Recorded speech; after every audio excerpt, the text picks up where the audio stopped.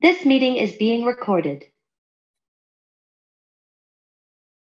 dames en heren. Zo fijn om in deze volle zaal te zijn met z'n allen. Iets waar we uiterst dankbaar voor mogen zijn na de eenzame COVID-jaren. We zijn vanmiddag hier voor iets heel speciaals. Rondom de tijd dat Patricia Choklim aan het promoveren was, zo'n 12, 13 jaar geleden, kon ze vrijwel niets vinden over de geschiedenis van de Chinese Indonesiërs in Nederland. Daar heeft Patricia iets aan gedaan. In 2010 is ze begonnen met steun van het KITLV met de Chinese Indonesian Heritage Center, het CIHC. Door het CIHC krijgt deze gemeenschap langzaam maar zeker een meer zichtbare plek binnen de Nederlandse geschiedenis. En vanaf vandaag heeft Patricia ervoor gezorgd dat iedereen die iets wil weten over de Chinese Indonesiërs in Nederland, deze informatie kan vinden in dit boek. Patricia, geboren in Cirebon, was 17 toen ze naar Nederland vertrok om farmacie te studeren. Die studie was onderbroken toen ze trouwde in 1959 met kinderarts Tiao Han Chok. Nadat haar drie kinderen uit huis waren, is Patricia begonnen aan een deeltijdstudierechten in Leiden en promoveerde in 2009. Sinds 2010 is ze volop bezig met het CIHC en in de laatste twee jaar ook met het schrijven van dit boek. We hebben vandaag een mooi programma met diverse sprekers, zoals u hier op het scherm ziet. Een van de mensen die vanaf het begin actief is geweest bij het CIHC is Yap Bing. Bing is geboren in Amsterdam, heeft geneeskunde gestudeerd en heeft onder andere gewerkt bij de GGD en het RIVM. Hij heeft over zijn familiegeschiedenis geschreven in het boek Mijn vader uit Smarang en is heel actief betrokken geweest bij het onderzoekproces voor dit boek. Bing is ook secretaris van het CIHC. Patricia zal deze middag openen met uitleg over de totstandkoming en de inhoud van dit boek, gevolgd door een beeldpresentatie door Bing van foto's die in het boek zijn opgenomen. Even wat praktische informatie. Uh, boek is te koop bij het Museumcafé, dus we hopen jullie allemaal daar te zien tijdens de borrel. Graag, als u het nog niet heeft gedaan, uw telefoon op silent doen. We gaan ons best doen om na iedere presentatie vragen uit het publiek te beantwoorden.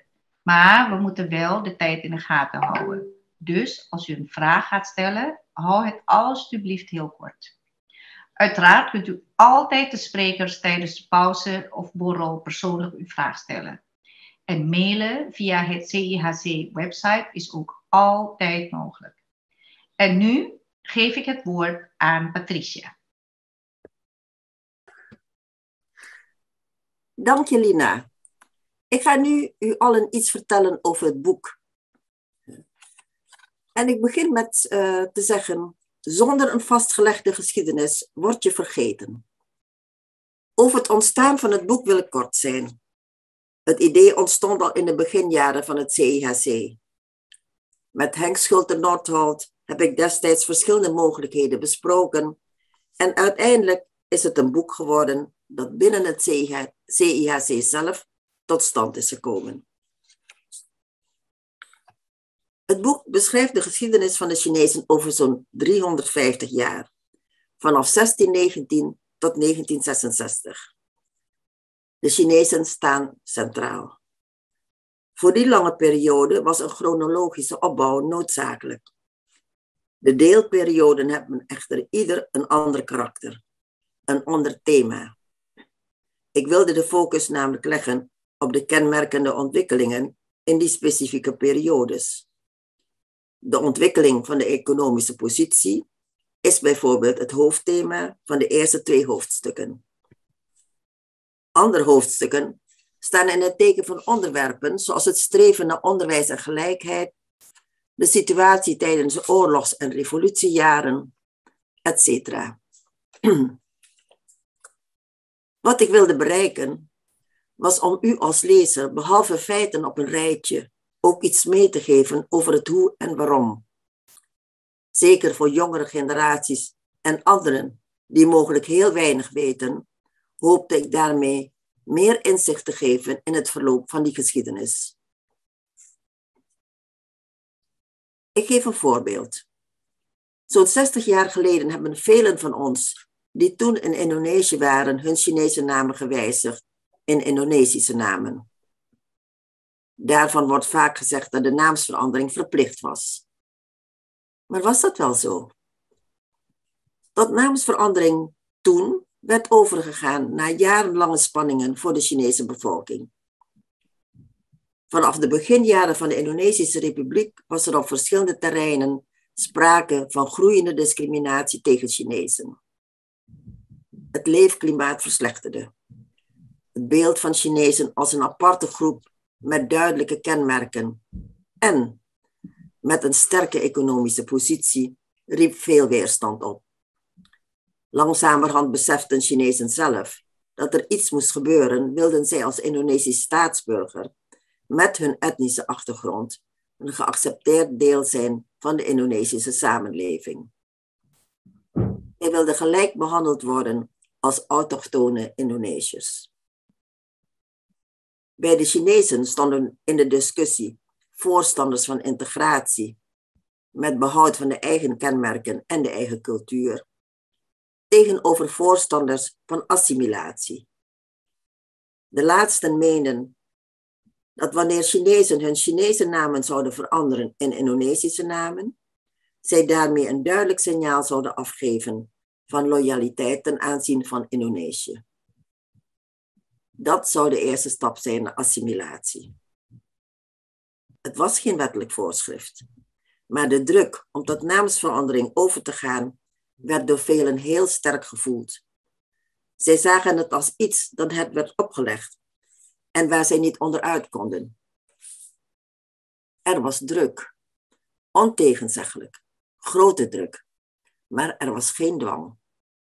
Er waren immers ook Chinezen, een klein aantal, die hun namen niet veranderden. Met een dergelijk voorbeeld en informatie over het hoe en waarom hoop ik de, de geschiedenis beter te kunnen vertellen. Ik ga u nu vertellen hoe het boek in elkaar zit. De eerste periode, de periode 1619 tot 1900, gaat over de ontwikkeling van de economische positie.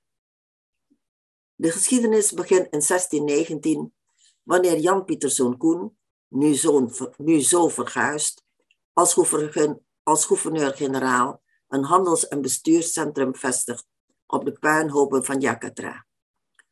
De strijd met de vorst van Banten is gewonnen. De stad moet worden opgebouwd. En daarmee begint de gezamenlijke geschiedenis van de Chinezen met de VOC. In die eerste jaren wordt de basis gelegd voor de economische positie van de Chinezen voor de volgende eeuwen. Koen begint met de migratie van Chinezen naar Batavia op alle mogelijke manieren aan te moedigen. In de eerste jaren niet zozeer en ook niet direct voor de handel. De VOC had Chinezen toen vooral nodig als ambachtslieden voor de opbouw van de stad en als arbeidskrachten in de land- en tuinbouw voor de voedselvoorziening van Batavia. En al een paar jaar later, in 1623, komt Koen tot de constatering daar is geen volk die ons beter dan Chinezen dienen kan. Let vooral op het woord dienen. Daarin komt naar voren welke positie de Chinezen mogen en zullen hebben voor de VOC. Zij moeten met hun activiteiten het belang van die handelsorganisatie dienen. Alle regelingen die tot stand komen voor Chinezen, ongeacht of dat positief of negatief is, staan in het teken van die dienstbaarheid. Na het einde van de VOC in 1800 wordt de basisstructuur van de economische positie voortgezet. En zo'n 100 jaar later, aan het einde van de 19e eeuw, meer dan 250 jaar na Jan Pieterszoon Koen, zien wij hoe die economische positie is geworden. Chinezen hebben zich van arme migranten ontwikkeld tot een minderheidsgroep met een sterke economische positie. En dat ondanks de vele regelingen om, om hun bewegingsvrijheid te controleren en de regelingen om hun handelsmogelijkheden te beperken. Zij zijn eeuwenlang betrokken geweest bij het innen van de belastingen voor het bestuur. In de handel zijn zij geduchte concurrenten geworden van de Nederlanders. U kunt begrijpen, dat zijn posities die hen niet openbaar maken. Integendeel, de beeldvorming wordt steeds negatiever. Chinezen worden als een probleem gezien. En de term Chinese probleem duikt dan voor het eerst op. Eind 19e eeuw worden voor Chinezen de touwtjes strak getrokken. De controle wordt strenger en dat betekent minder bewegingsvrijheid.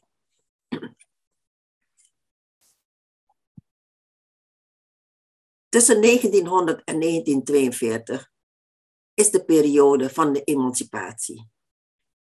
Dan gaat het om onderwijs, gelijkheid en politiek bewustzijn. Het betekent de overgang naar een nieuwe periode in hun geschiedenis. Ik schrijf dan ook niet verder over de ontwikkelingen van de economische positie. Die zijn er. Maar vanaf 1900 tot aan de Japanse bezetting is het kenmerkende thema emancipatie. Chinezen willen een einde van de beperkingen die voor hen gelden. Zij willen bijvoorbeeld niet meer gedwongen worden in de wijken te wonen die voor hen zijn aangewezen. Ook willen zij niet voor iedere keer dat zij zich buiten de wijk begeven een pas aan moeten vragen. Ze willen onderwijs en wel Nederlands onderwijs. Dat gebeurt in 1908 met de oprichting van de Nederlandstalige Hollands-Chinese scholen. Individuele Chinezen willen gelijkstelling en daarmee dezelfde rechten hebben als Europeanen. Dan staat immers voor hun kinderen de toegang tot de Europese lagere school open. De school voor de Nederlandse kinderen. Onder ons zullen zeker personen zijn met ouders of grootouders die op deze scholen hebben gezeten of in die periode gelijkstelling hebben aangevraagd en gekregen. In deze emancipatieperiode en in dat emancipatiestreven stonden Chinezen niet alleen. Zij werden ondersteund door een opkomend China dat zijn invloedssfeer wilde uitbreiden. En ook groeide er een politiek bewustzijn. Er zijn drie stromingen die in de literatuur gekarakteriseerd worden met de volgende uitspraken. De eerste is een stroming die zich op China oriënteert. Eens een Chinees, altijd een Chinees. De tweede groep wil bij Nederland horen. Zij zijn de trouwe onderdanen van Hare Majesteit de Koningin. En de derde groep, die begin dertiger jaren opkomt, dat is ook de periode van de opkomst van het Indonesisch nationalisme, die groep richt zich op een onafhankelijk Indonesië, waar zij bij willen horen. Geboren in Indonesië, grootgebracht in Indonesië, sterven en begraven worden in Indonesië. Dan zijn wij langzamerhand beland in de jaren 40. De jaren die beginnen, eh, die in 1942 beginnen met de Japanse bezetting. Deze verloopt voor uh, de Chinese bevolking heel anders dan voor de Nederlanders. De Tweede Wereldoorlog in Azië is de oorlog die Japan voert tegen het Westen, waaronder Nederland. Het Westen is de vijand. En dat betekent dat Nederlanders geïnterneerd worden. En alles wat met het Westen te maken heeft, wordt verboden. De verhouding en het beleid van het Japanse bestuur ten aanzien van de Chinezen is geheel anders. Zo is vanaf 1937 Japan in oorlog met China. Het is de tweede Chinees-Japanse oorlog die heel bloedig verloopt. In Indië wordt die oorlog door de Chinezen op de voet gevolgd. En daar blijft het niet bij. Er wordt daadwerkelijk hulp geboden aan de oorlog in China. Er komen hulpacties. En ondanks deze oorlog blijven Chinezen voor de Japanners een Aziatisch volk echter met uiteenlopende sympathieën. Pro-China, anti-Japan, pro-Japan, pro-Nederland en ook pro-Indonesië. Tegelijkertijd is het voor Japan belangrijk dat van de economische positie van de Chinezen gebruik wordt gemaakt ten behoeve van de oorlogseconomie. Bedrijven worden geconfiskeerd. Zij gaan in Japanse handen over. Zelf heb ik pas door mijn onderzoek over deze periode beseft hoe de ervaringen van ons gezin daarin passen. Ik was drie jaar toen de Japanse bezetting begon. Over de oorlog spraken mijn ouders niet met ons. Ons gezin bracht de bezettingsjaren door, niet door in onze woonplaats Sheribon, maar in Semarang. Daar woonden wij in de Chinese wijk. Ik kan mij van die oorlogsperiode in Semarang slechts enkele beelden en fragmenten herinneren. Het geluid van oorlog, het gevoel van angst. Het huis in de Chinese wijk was een typisch Chinees huis, donker en gesloten. Ik voelde mij daar slecht thuis. Ik kan me herinneren hoe bang ik was wanneer mijn broer weer eens nachtmerries had, het uitschreeuwde en maar niet tot bedaren kon komen. Mijn vader kon niet werken. De Japanners hadden de twee bedrijven en het woonhuis in Sheribon geconfiskeerd. Heel veel indruk op mij maakte de dag dat ik mijn vader iets heel ongewoons zag doen. Hij was druk bezig emmers met water en zand klaar te zetten. Alsof er brand zou komen. Pas later koppelde ik dat aan de slag om Semarang. Toen Japanners en Britten, de Gurkha's, in de straten van Semarang dagenlang vochten tegen de Indonesische troepen. Daarna, in de revolutiejaren, keerden mijn ouders terug naar Sheribon. Mijn vader had van de Japanners de fabrieken teruggekregen, niet het woonhuis. Voor hun terugkeer naar Sheribon namen ze alleen mijn jongste zusje mee. Mijn oudere broer, mijn andere zusje en ik werden ondergebracht bij familie in Semarang. Het moet enige tijd geduurd hebben voordat wij allen als gezin herenigd terug waren in Sheribon. Waarom moesten wij zo lang in Semarang blijven? In mijn onderzoek zag ik dat als gevolg van de eerste politionele actie in juli-augustus 1947 in Sheribon veel vluchtelingen uit de regio werden opgevangen. In de marsroutes van het Nederlandse leger in West-Java nam Sheribon een belangrijke plaats in. De strijd tussen het Nederlandse leger en de Indonesische troepen en strijdgroepen betekende vernietigingen van bedrijven en infrastructuur vanwege de tactiek van de verschroeide aarde. Daarnaast was er veel geweld en vaak extreem geweld van Indonesische kant tegen Chinezen. Veel Chinezen uit de dorpen op deze marsroutes waren op de vlucht voor het oorlogsgeweld en voor het geweld tegen henzelf. Ze verlieten huis en haard op zoek naar veiligheid. In Sheribon waren vluchtelingenkampen opgericht, onder andere door de Chinese organisatie Chunghua Chunghui. Er werd hulp geboden aan ongeveer 14.500 vluchtelingen. Pas na dit onderzoek vielen de stukjes bij mij op hun plaats. Mijn ouders bleven waarschijnlijk in Sheribon om opnieuw verlies van de teruggegeven fabrieken te voorkomen. Reizen terug naar Semarang door republikeins gebied was lang gevaarlijk. Dat het lange tijd niet veilig was in Sheribon bleek uit de situatie van ons nieuwe onderkomen. Bovenop de omringende muren van het huis waren glasscherven vastgemetseld. Het hek met prikkeldraad moest indringers buiten houden. Daarna volgen de jaren van de Indonesische revolutie, 1945 tot 1949. In deze revolutiejaren vielen onder de Chinese bevolking vele slachtoffers en leden zij grote verliezen. Bedrijven, rijstpellerijen, suikerfabrieken, winkels en woonhuizen gingen verloren door brand en vernietiging. Vooral buiten de grote steden op republikeins gebied en vooral bij gevechten tussen Nederlandse en Indonesische troepen.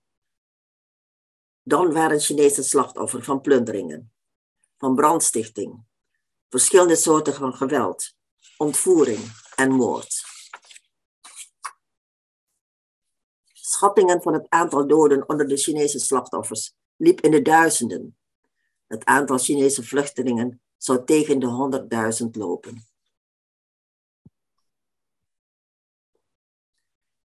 Na de revolutiejaren in december 1949 is het dan zover. De soevereiniteit wordt overgedragen aan de Republiek Indonesië.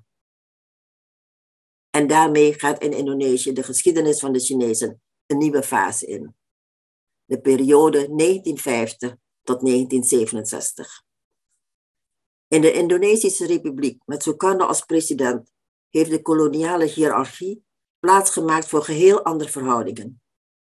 Iedereen moet daar op een of andere manier mee leren omgaan. Voor Chinezen is een deel van de koloniale erfenis hun historisch gegroeide positie. In de koloniale maatschappij werden Chinezen als een aparte groep behandeld, zoals ook in de wetgeving was vastgelegd. Na 1950 wordt in de Indonesische Republiek, ondanks hun Indonesisch staatsburgerschap, die aparte positie en de etniciteit, de Chinese afkomst, een probleem. Het leidt tot discriminatie. In de jaren 60 resulteert dat onder andere in de verandering van Chinese namen in Indonesische namen. En daarmee ben ik terug bij datgene waar ik mee begon. De coup van september 1965 luidt het einde in van de Sukarno-periode. Ik kom dan aan het laatste hoofdstuk. En dat is het hoofdstuk dat gaat over de periode 1892 tot 1967. Het gaat over de studenten in Nederland en andere nieuwkomers. Het gaat over de migratie naar Nederland. Daarvoor gaan we terug in de tijd. De eerste kennismaking met Nederland was in 1892, toen de eerste twee Chinese studenten naar Nederland kwamen. Hun Nederlandse vooropleiding hadden zij te danken aan de bijzondere positie van hun ouders in het koloniale bestel. Na deze twee studenten komt de gestage stroom studenten op gang. En ongeveer twintig jaar later, in 1911, wordt de studentenvereniging Chungwawi opgericht. Tot 1962, 20 jaar later, 50 jaar later, was de vereniging actief.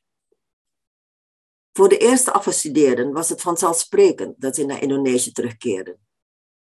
Dat werd minder vanzelfsprekend naarmate de situatie van de Chinezen in Indonesië na de Tweede Wereldoorlog verslechterde. We zien vanaf 1946 eerst een grote toename van het aantal studenten naar Nederland. Na 1950 neemt dat aantal af. Het is een periode waarin Chinezen, waaronder afgestudeerden, af en aan reisden richting Indonesië of richting Nederland. Ook in de stroom van repatrianten. Ik wil eindigen met de periode 1957 tot 1963. Het conflict tussen Nederland en Indonesië over onder andere de slepende Nieuw-Guinea-kwestie werd een dieptepunt in de verhouding tussen beide landen. Het was ook een keerpunt. Het begon in 1957 met de naasting van de Nederlandse bedrijven, waarna de diplomatieke betrekkingen tussen beide landen werden verbroken. Voor de Chinezen in Indonesië viel deze periode samen met de eerder genoemde moeilijke jaren met veel discriminatie. Zij zagen de toekomst voor hen en hun gezinnen somber in. Een aantal besloot Indonesië te verlaten. Bestemming Nederland was niet mogelijk. Nederland had de grenzen gesloten. China, Suriname en Curaçao, Brazilië en in Europa, Duitsland en België werden alternatieve bestemmingen. Vandaar werd soms na enige tijd verder gemigreerd naar Nederland, al of niet met nog een tussenbestemming. In Nederland betekende het verbreken van de diplomatieke betrekkingen heel wat anders voor de daar aanwezige studenten. De Indonesische ambassade in Den Haag werd gesloten. Houders van een Indonesisch paspoort moesten Nederland verlaten. Studenten zagen zich gedwongen hun studie af te breken en deze elders te vervolgen, meestal in Duitsland of België. Terugkeer naar Indonesië was vanwege de situatie daar voorlopig geen keuze. Velen van u zullen zich waarschijnlijk herkennen in deze migratieroutes of in deze situaties. Ieder maakte zijn of haar keuze op grond van, van de omstandigheden op dat moment. Er liep voor de migratie naar Nederland vaak geen rechte lijn tussen Indonesië en Nederland. Dit is het boek in vogelvlucht. Zoveel informatie over 350 jaar. Het duizelt u waarschijnlijk. Ik zou zeggen, lees het rustig na in het boek. En voor de beelden geef ik nu het woord aan Cubing. Dank u wel.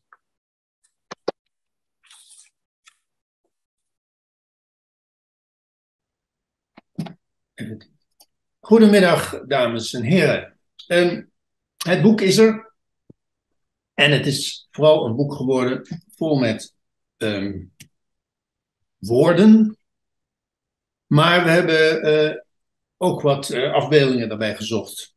En uh, daar zal ik een paar van aan u laten zien. Ehm, de meeste afbeeldingen staan in het boek en sommige niet.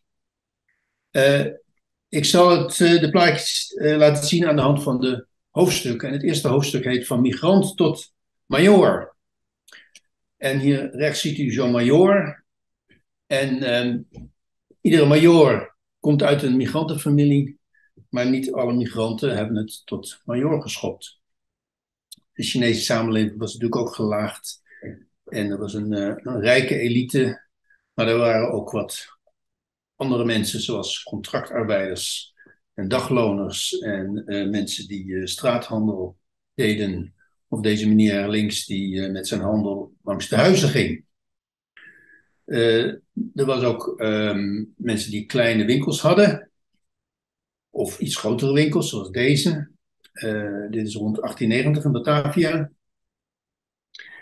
En hier nog een foto van een winkel in Batavia.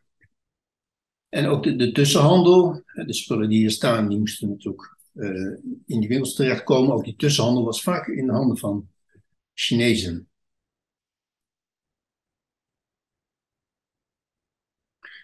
En sommige uh, Chinezen konden hun winkel verder uitbouwen tot een echt een hele grote winkel, zoals dit modemagazijn, ook in Batavia rond 1930.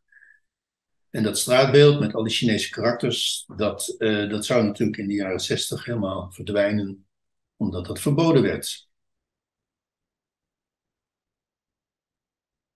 Heel belangrijk um, bij de economie in uh, Nederlands-Indië waren de pachten. Dat was een manier van de overheid om uh, belasting te innen.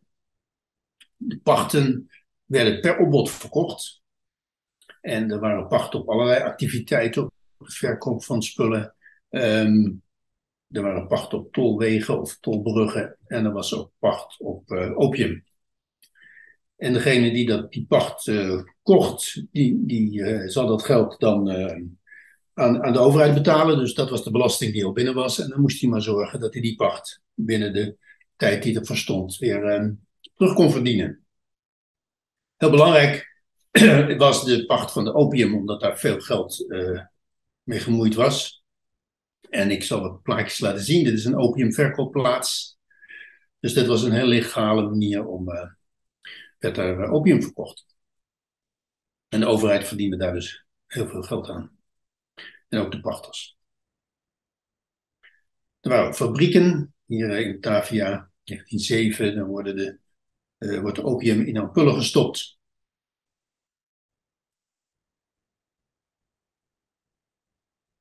En de, de, die elite van de Chinezen, dat waren vaak de, officieren. Um, officieren der Chinezen. En dit is een luitenant der Chinezen. Met zijn gezin en met zijn uh, oppassers en um, zijn bedienden en de kinderen. We vonden dit wel een mooie foto om te laten zien. De, de, luitenant is degene met het bolhutje.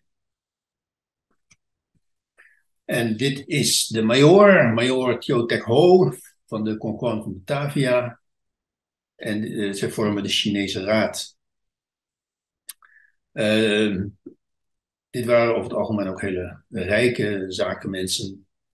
Al zie je dat niet meteen aan hun uh, kleding af. Uh, in, in de 20e eeuw kregen de, de, de officieren ook een, een, een, een mooi pak aan. Dat, dat zag er wel mooi uit, maar de, ja, die functie was toch veel minder interessant geworden, omdat die pachten ook waren opgeheven in de 20e eeuw. Dit is ook een kapitein der Chinezen.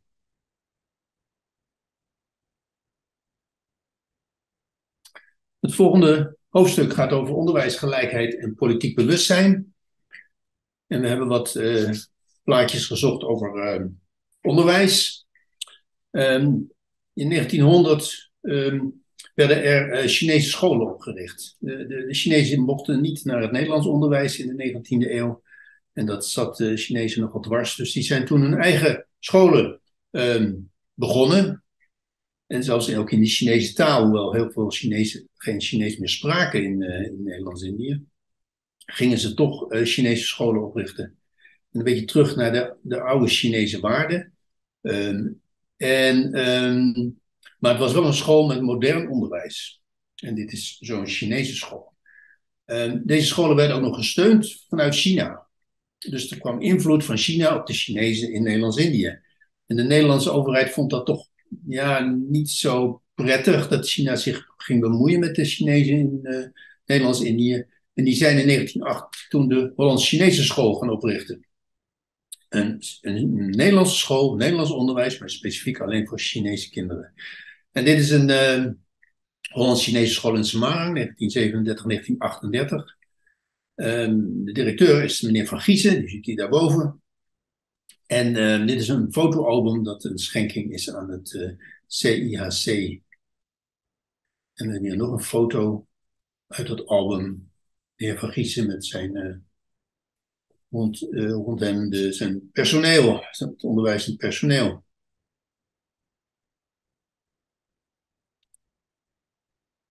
Uh, de, de Hollands-Chinese school gaf ook toegang tot de, het Nederlands middelbaar onderwijs. En dit is de HBS in Semarang, 1939-1940.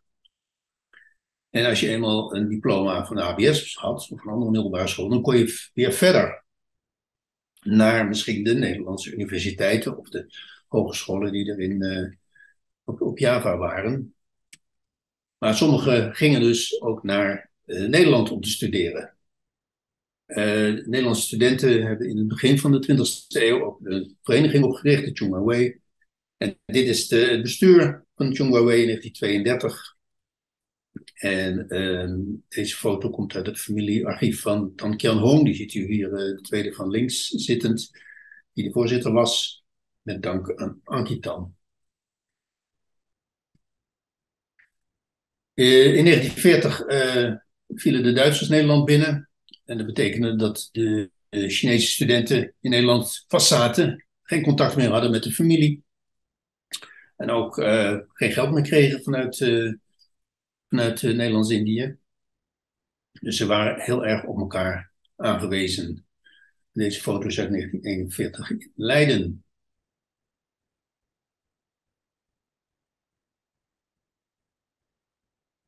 Na de oorlog um, komen er weer Chinese studenten naar Nederland toe. Um, sommigen hebben nog een Nederlands diploma of hebben direct na de oorlog een uh, Nederlands diploma um, gekregen of behaald en zijn toen naar, naar, naar, Nederland gegaan. Um, dus deze foto is van 1947.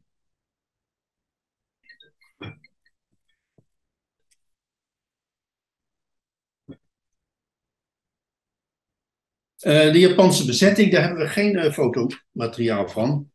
Dus ik ga door naar, de, naar het volgende hoofdstuk. Uh, tussen twee vuren. De jaren van de Indonesische revolutie. En dat is letterlijk tussen twee vuren.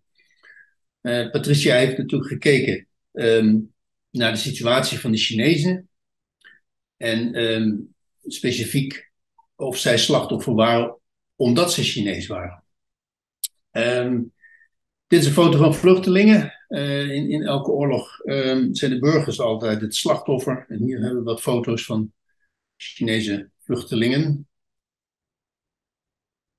Hier ziet u dit in 1947. En uh, op de vlucht kan je meestal alleen je kinderen meenemen en wat spullen.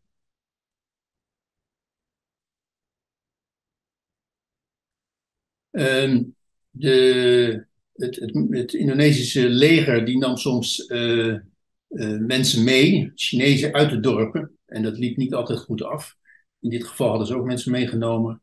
Uh, maar toen kwamen, de, kwamen ze op Nederlandse militairen kwamen ze tegen en die hebben hun weer bevrijd. En ze konden terug naar hun dorp. In 1947. Uh, er werd ook heel veel vernield, ook specifiek uh, Chinese uh, huizen en bedrijven. En hier zijn wat foto's daarvan te zien. Dit huis is helemaal geplunderd.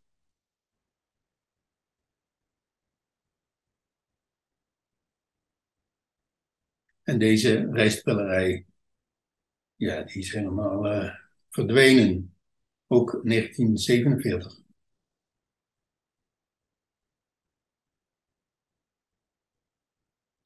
En dit is een uh, massagraaf van uh, vermoorde Chinezen. Dat wordt dichtgegooid.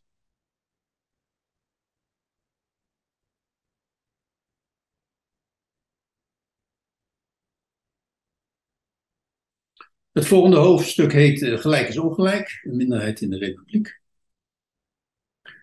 En, en ja, daar hebben we ook niet zoveel foto's van. Dus ik heb een paar onderwerpen, laat ik hier wat zien.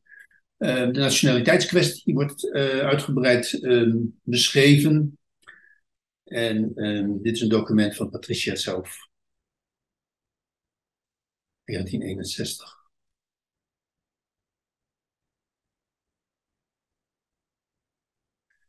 Door de onrust en de onzekere toekomst uh, gingen veel Chinezen toch ook zoeken naar andere mogelijkheden. En deze groep um, uh, is op weg naar China. En uh, het is 1961. En uh, Annie Tan, uit het, van het boek Retour à Mooi, dat door professor Blusset is geschreven, die staat op deze foto met haar man. Met dank aan Kuk. Er was in die jaren ook veel anti-Chinees geweld. En dit is 1965, uh, waar, de, de, universiteit uh, wordt aangevallen. Uh, de universiteit die door Baperki, Chinese organisatie, is opgericht.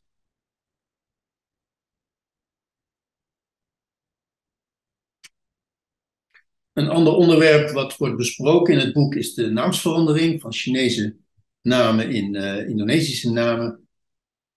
dit is een, de identiteitsbewijs van Tanwa Nio, 1968.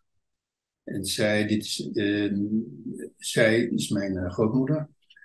En uh, zij overlijdt binnen een jaar. En um, dan overlijdt ze onder een andere naam, Lati Sutanto. En um, ja, dit hebben velen natuurlijk meegemaakt, dat ze een andere naam hebben moeten aannemen. Patricia gaat er uitgebreid op in. En dit was uh, de geschiedenis in uh, eh, 350 jaar in beeld. En uh, ik wou het hierbij laten. En dank voor uw aandacht. Dankjewel, Patricia en Qbing.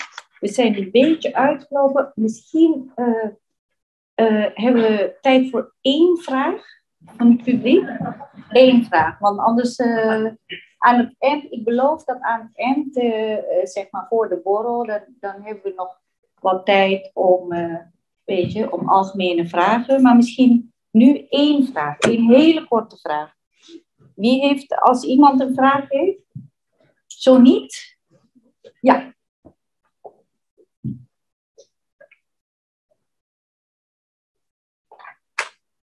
hele korte vraag over die naamsverandering. Ehm, er is momenteel een regeling, dacht ik, uh, van het ministerie, waarbij het eenvoudiger en goedkoper is gemaakt uh, voor namen die onder problematische omstandigheden zijn uh, gemaakt, om die te veranderen. En, mijn vraag is, en het gaat echt vooral over de coronaperiode, vraag ik me eigenlijk af of dat ook voor de Chinese veranderde namen u bedoelt in Indonesië? Ja, ook in Nederland.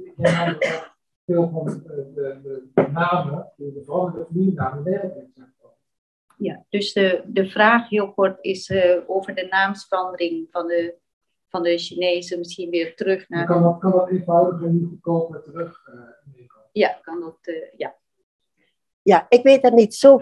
Is het zo? Volgens mij, ja. ja. Uh, ik weet niet precies hoe de naamsverandering, de terugverandering bedoelt het toch eigenlijk? Uh, van de Chinese, van Indonesische namen weer terug naar de originele Chinese naam verloopt.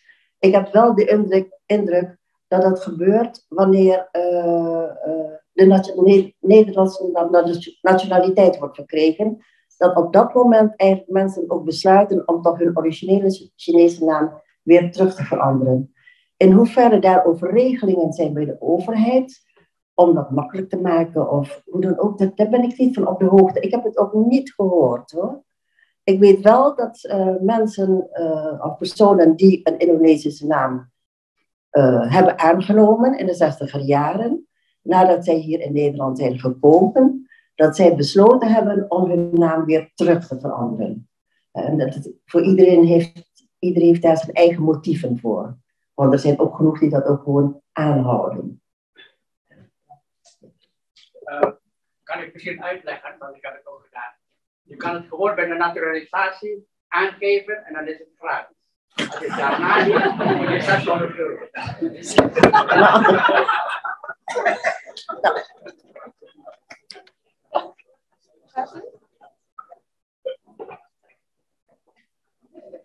Nou, dat was uh, dat was een goede aanvulling, dank u wel. Um, we gaan uh, nu verder. Uh, ik, uh, onze volgende spreker is Leonard Lucet. Um, hij is een begrip in de Nederlandse en internationale academische gemeenschap. Leonard Lucet heeft sinologie en geschiedenis gestudeerd aan de Universiteit Leiden, National Taiwan University en Kyoto University. Hij was hoogleraar geschiedenis aan de Universiteit Leiden uh, en is een wereldspecialist in Europees-Aziatische betrekkingen.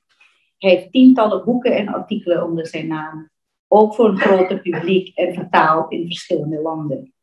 En vandaag neemt hij ons terug naar Batavia van een paar eeuwen terug en de Chinese bewoners van deze stad. Meneer Bucet? De horloge belangrijk. Oh, ik... Want er valt zoveel te vertellen, dat moet ik een beetje inperken. Um, ik heb het nu tien voor half drie, klopt dat? Ja. Um, dames en heren, u kunt mij zo verstaan? Nou, uh, Patricia, die heeft niet alleen in het prachtige boek al zo'n beetje de periode behandeld waar ik over moet gaan praten vanmiddag. Ze heeft Jan Pieterszoon Koen ook al gevraagd, die hoef ik ook niet om over terug te komen. Um, maar ze had natuurlijk eigenlijk Sobin Kong moeten noemen. Sobin Kong, dat was de eerste kapitein van de uh, Chinezen in Batavia. Dat is ook het oudste graf wat er bestaat uh, in Jakarta, wat bewaard is gebleven, is notabene het graf van Sobin Kong en zijn vrouw. Um, en en die, het mooie daarvan is dat dat graf, dat nu en dan verdwijnt het weer. En dan weet niemand meer waar het is. En dan is er weer een gezelschap van oudere Chinezen die zeggen: Ja, waar, waar is dat dan? En, uh, en die vinden dan dat het achter in een huis verscholen, dat, treffen ze dat graf nog aan. Um, en dan brengen ze geld bij elkaar en dan kopen ze dat landje op. En dan maken ze dat weer helemaal schoon en klaar. Uh, en dan blijft dat een jaar of 10, 15 zo dat je het kan bezoeken. En als je daar dan wat later komt, dan zie je dat het alweer helemaal op is genomen in de kampong en dat de mensen daar hun kleren uit de droge hangen uh, over dat gras heen. Dus dat is eigenlijk de manier waarop men omgaat met uh, de geschiedenis in, in Indonesië. Het stereotype beeld dat de Nederlanders in het begin van de 17e eeuw van overzeese Chinezen vormden, was duidelijk. Ze waren harde werkers, ze waren vredelievend, je hoeft hier nergens zorgen over te maken, zolang je ze maar onder de duim hield met een fatsoenlijk bestuur. Dit is even een andere manier gebracht dan het dienen waar Patricia over had. Koen die nam die instructie om, de, om Chinezen te werven overigens wel erg letterlijk op, want hij liet uh, tot in China toe op Chinezen jagen. Ik ga daar nu verder maar even niet op in. Uh, maar als men zo over Chinezen dacht, ik denk dat dat het belangrijkste is, dan rijst vanzelf de bijna retorische vraag: wat zou er zonder de Chinezen van het hele Nederlandse koloniale project in, in de Indonesische archipel terecht zijn gekomen? Bijster weinig. Ze hebben van begin tot het einde van de koloniale overheersing een onmis, onmisbare rol gespeeld als tussenpersonen tussen de koloniale en de lokale economie. Je kunt je evengoed afvragen, wat zou er van de Chinezen terecht zijn gekomen zonder de Nederlandse koloniale aanwezigheid? Onder een ander politiek regime hadden de Chinezen zich ongetwijfeld ook aan de lokale situatie weten aan te passen. Het bewijs daarvan ligt in de geschiedenis van andere landen in Zuidoost-Azië, zoals Thailand, Vietnam en Cambodja. Wanneer zijn die Chinezen nou eigenlijk daar in grote getalen uh, uh, naar Zuidoost-Azië gekomen? Dat is heel grappig, het is een soort van golfbeweging door de geschiedenis heen. Um, en het is toch wel belangrijk om hier te zeggen dat uh, in de Ming-dynastie, die is van het midden van de 14e eeuw tot 1644, uh, dat aan het begin van die Ming-dynastie de Ming-keizer streng verbood aan Chinezen om over zee te gaan. Zelfs een plankje mag niet de kust verlaten. Dus op dat moment was er eigenlijk vrijwel geen mogelijkheid voor Chinezen uit Fujian, en dat was nou net de provincie met de zeevaarders, uh, om zich over zee te vestigen. Maar aan het einde van de 16e eeuw is daar, komt daar een enorme verandering in. Ja, wat kan ik doen voor u? Klikt u zelf uw, Klikt u zelf uw presentatie door? Oh ja, ja, die was ik inderdaad vergeten. En waar moet ik dan op drukken? Uh, even, de Spaanse. Mooi zo, ja. Oh, dat ben ik, ja. Dit is, uh, dat, was een, uh, dat was een goede opmerking. Uh, aan het einde van de Ming-dynastie wordt, uh, en dat is ook weer heel merkwaardig, wordt alleen aan de bewoners van Fujian toegestaan om over zee te gaan varen. En 50 schepen naar de oostelijke zeeën en 50 schepen naar de westelijke zeeën. Nou, wat verstond men daaronder? Dat wordt helemaal uitgelegd in een uh, boekwerkje, de Tung een verhandeling van de oostelijke en westelijke oceanen, dat in 1617 uh, eh, verscheen. Uh, en waarin wordt verteld wat de oostelijke oceaan is en de westelijke oceaan. Oostelijke oceaan is Manila en dan verder door naar de Molukken. En waarom wilde men zo graag naar Manila? Omdat daar de Spanjaarden zaten die vanuit Amerika zilver aanbrachten. En zilver was natuurlijk zeer gezocht in China. En dat leidde ertoe dat uh, toen eenmaal die, die, die verbinding tot stand was gebracht met Manila, die Spanjaarden en de Chinezen, dat uh, de uh, Spanjaarden daar dat Manila gesticht hebben, maar de Chinezen buiten de muren hielden. Want er waren zoveel van die Chinezen, die hou je liever enigszins op afstand in de Parian. Dat is trouwens door de jaren heen meerdere malen tot op tot een, op een Chinese moord uh, uit, uitgelopen. De westelijke route, dat is eigenlijk meer de traditionele route, die loopt via Vietnam, eh, Cambodja, uh, Siam, Thailand heet dat tegenwoordig, de Maleise, het schiereiland en dan kom je tenslotte uit op Java. en dus toen, dat, toen Koen Batavia stichtte, toen had hij al helemaal dat idee in het hoofd van hoe gaan die Spanjaarden met de Chinezen om? Hè? En die Chinezen, daar wil ik mee uh, verder aan de gang gaan. Uh, en die heeft dus op, op, op, de, op een klassieke plek waar de Chinezen vroeger al naartoe voeren, maar nu aan het eind van de Ming-dynastie waar een grote getalen naartoe kwamen. Dus naast dus havenstad Bantam heeft hij dan Batavia, uh, oftewel Kalapa, hè, naar Sunda Kalapa, maar dat heette de Chinezen noemden dat Kalapa, uh, gesticht. Het is misschien wel aardig om even iets over dat scheepvaartverkeer te vertellen. Die Chinese jonken, die, je ziet er eentje voor je, um, die vertrokken in februari met de Noordoostmoesson.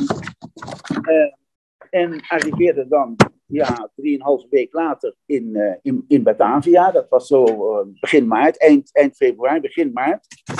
Ze hadden een omvang van ongeveer 200, 300 ton.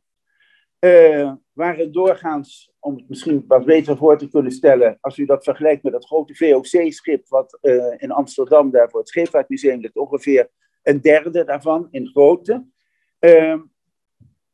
En die bemanning daarvan die bestond uh, doorgaans ongeveer uit 80 man. Want dat is zo, ja, moet ik even oppassen, want straks begin ik weer hele verhalen over Chinese scheepvaart te houden. Dat moet ik maar niet doen. Maar uh, dat, dat, is heel merkwaardig hoe die, die Chinese schepen, die, voeren op, die werden op een hele andere manier bestuurd dan de Nederlandse schepen. Hè. De Nederlandse schepen die verdeelden hun, hun, hun, hun, zeilen over die, verschillende raas.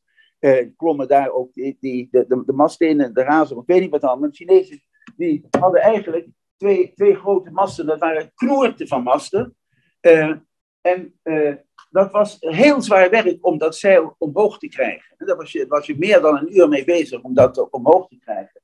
Uh, en met dit soort schepen was het ook het, het, sturen heel erg zwaar. Dus je had eigenlijk een, naar verhouding een, een, grote Chinese bemanning. Maar dat was helemaal niet erg, want die Chinese bemanning was, al die bemanningsleden, die waren zelf ook handelslieden. En dat is het grote verschil als je dat vergelijkt met die schepen van de VOC, dat waren allemaal, allemaal trozen en kooplieden en soldaten in dienst van de VOC, die zelf eigenlijk niet mochten handelen. Hè, dat, uh, daar werden ze voor gestraft. Terwijl deze jong propvol zat met passagiers en, en bemanningsleden die allemaal voor een handeltje naar Zuidoost-Azië gingen. En dan zorgden ze ervoor dat ze begin juni teruggingen voor het tyfoonseizoen, zodat ze net voor het tyfoonseizoen weer terug waren uh, in, in China. Terwijl de compagnie planmatig op allerlei verschillende plekken handelsfactorijen stichtte, vreesde spontaan her en der uh, op, door de archipel de zogenaamde Chinatowns. Um, ondanks die bezwaren van de Chinese overheid tegen uh, emigratie van de onderdaan. Men mocht wel gaan handelen over zee, maar liefst niet langer dan twee seizoenen en dan weer terugkomen. Daar hield geen voetje. Nee, hield zich daaraan.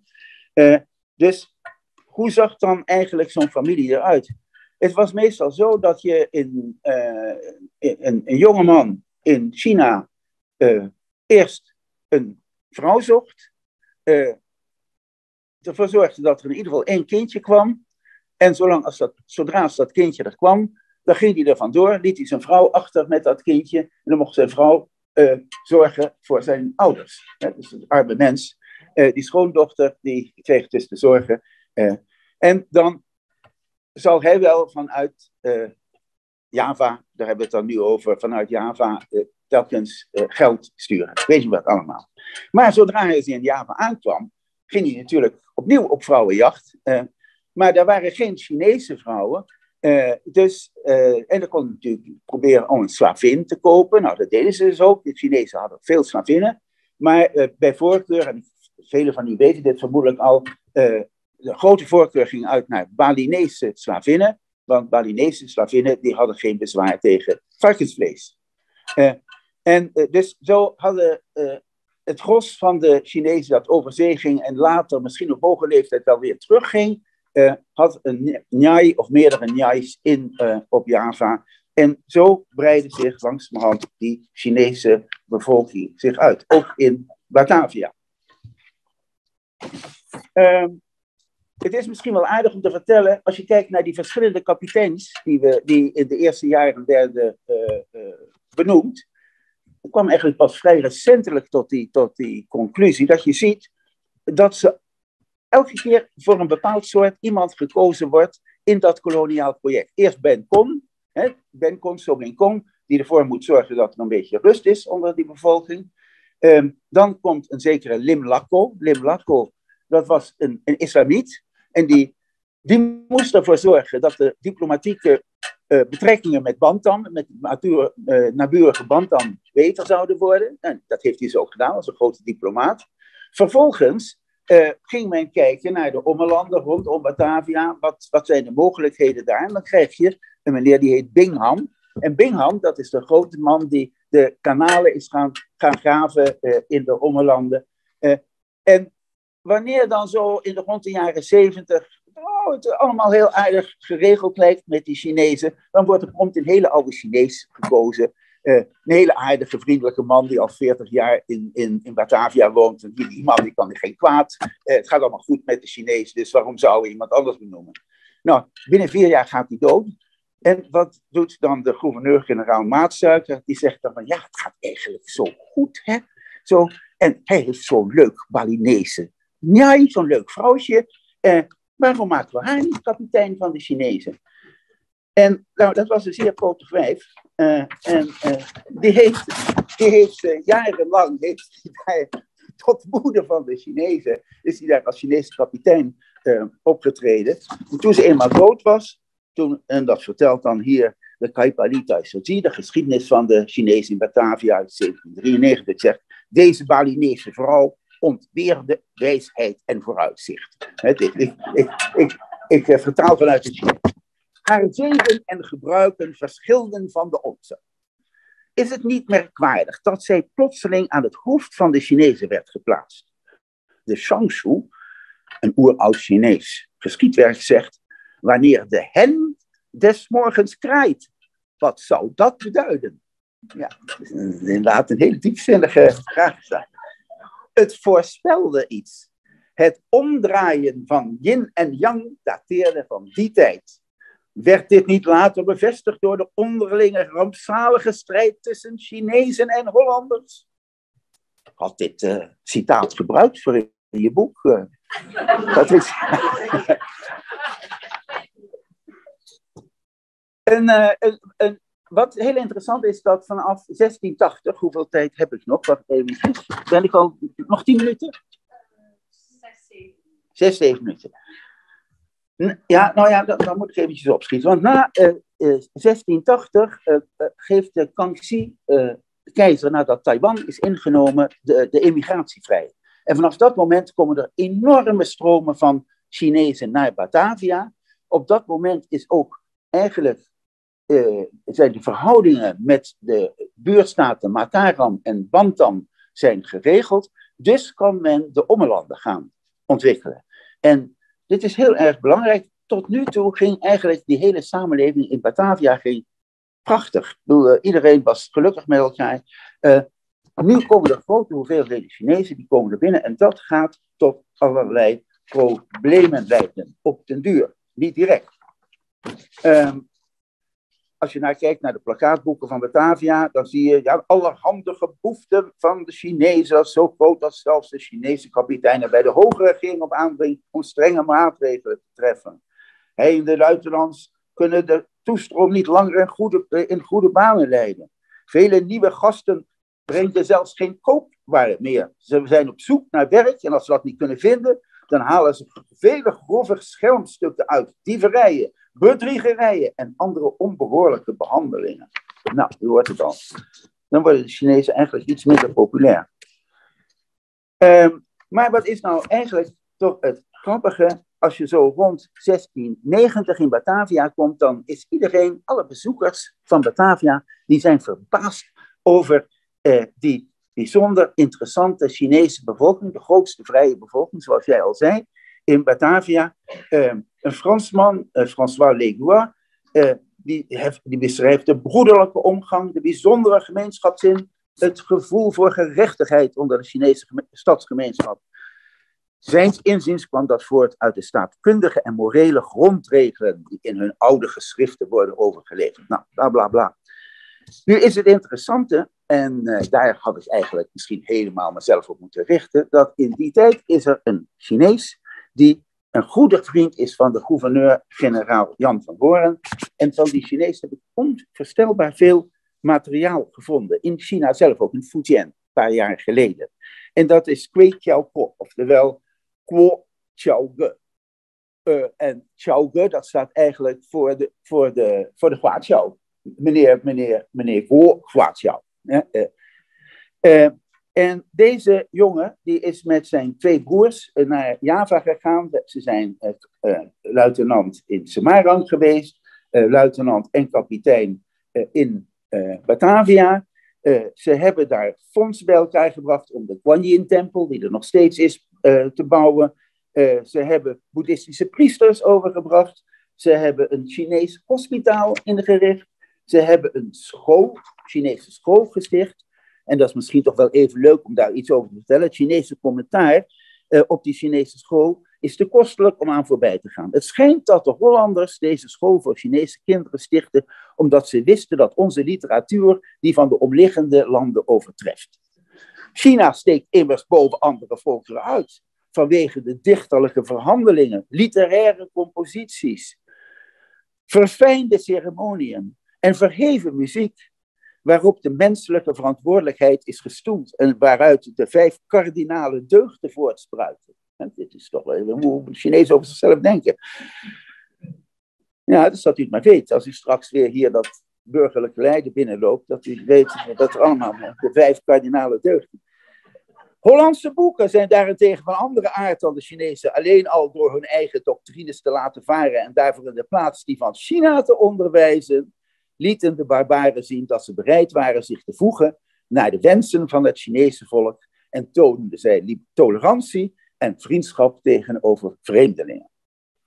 Nou, deze uh, Chao Ge die gaat uh, uh, terug naar China wanneer zijn ouders overleden zijn om daar een enorm graf voor te gaan bouwen. dat graf dat heb ik met professor Niete Ning van Xiamen Universiteit teruggevonden. Helaas weer in de culturele revolutie natuurlijk uh, erg uh, vernield. Uh, maar ehm, het, interessante is dat je dan ziet de wisselwerking tussen iemand die veel geld heeft verdiend, teruggaat naar China en daar tal van goede werken verricht. ponten voor, bij het, voor het dorp komt, waarmee, waarmee de mensen gratis kunnen overvaren, een school sticht, tempels weer restaureert eigenlijk hetzelfde verhaal wat we ook hebben gezien in de jaren tachtig na de opening van Deng Xiaoping, dat de Taiwanese heel veel belangrijke tempels in Fujian allemaal hebben uh, hersteld. Goed, nou zult u vragen, uh, meneer Blisset, er zijn nog drie minuten over. Uh, hoe gaat u dat doen?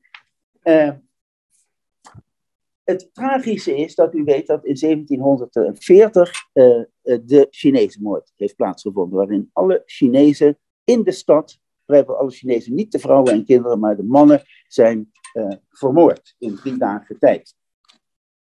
Dat verhaal schrijf, beschrijf ik in een boek, wat u in februari kunt kopen.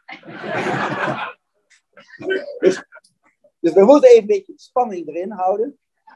Maar het is wel van belang om hier te, te, te zeggen van uh, hoe, misschien is het toch wel van belang te zeggen, om anders blijft die, nou ja, u kunt eigenlijk die vraag stellen nu. We zijn, uh, hoe komt het dan dat daar een Chinese moord is geweest? En daar hebben we dan nu de tijd voor, doordat ik netjes aan de tijd gehouden heb. Ja? Dus komt u maar op. is er iemand die een vraag heeft?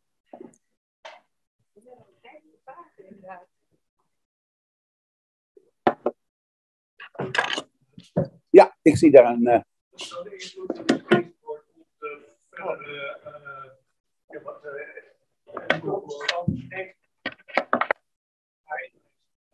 Ja, um, nou, dan. Zal ik even zeggen wat de vraag, zodat de mensen. Op... Ja, prima. Ja. Uh, uw vraag was: uh, uh, wat, is de, wat is de impact van die, van die Chinese moord op de komst daarna, van de Chinezen daarna? Ja, ja. Kijk, dit, het was natuurlijk een hele slimme move van mij, want ik heb nu uh, eh, 15 minuten om rustig door te kunnen praten. de reden waarom die, laten we eerst zeggen, hoe, hoe komt het dat die moord heeft uh, plaatsgevonden, deze, deze vreselijke massacre?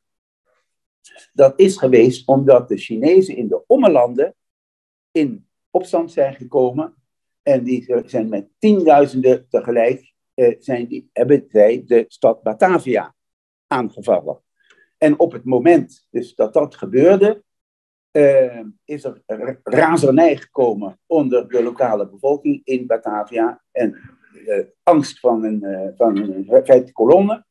En hebben ze de Chinezen in de stad uitgemoord. Nou, dat is, dat is heel, heel, kort, maar ik bedoel, als u mijn boek leest, dan zult u zien dat het dan toch wel iets ingewikkelder zit.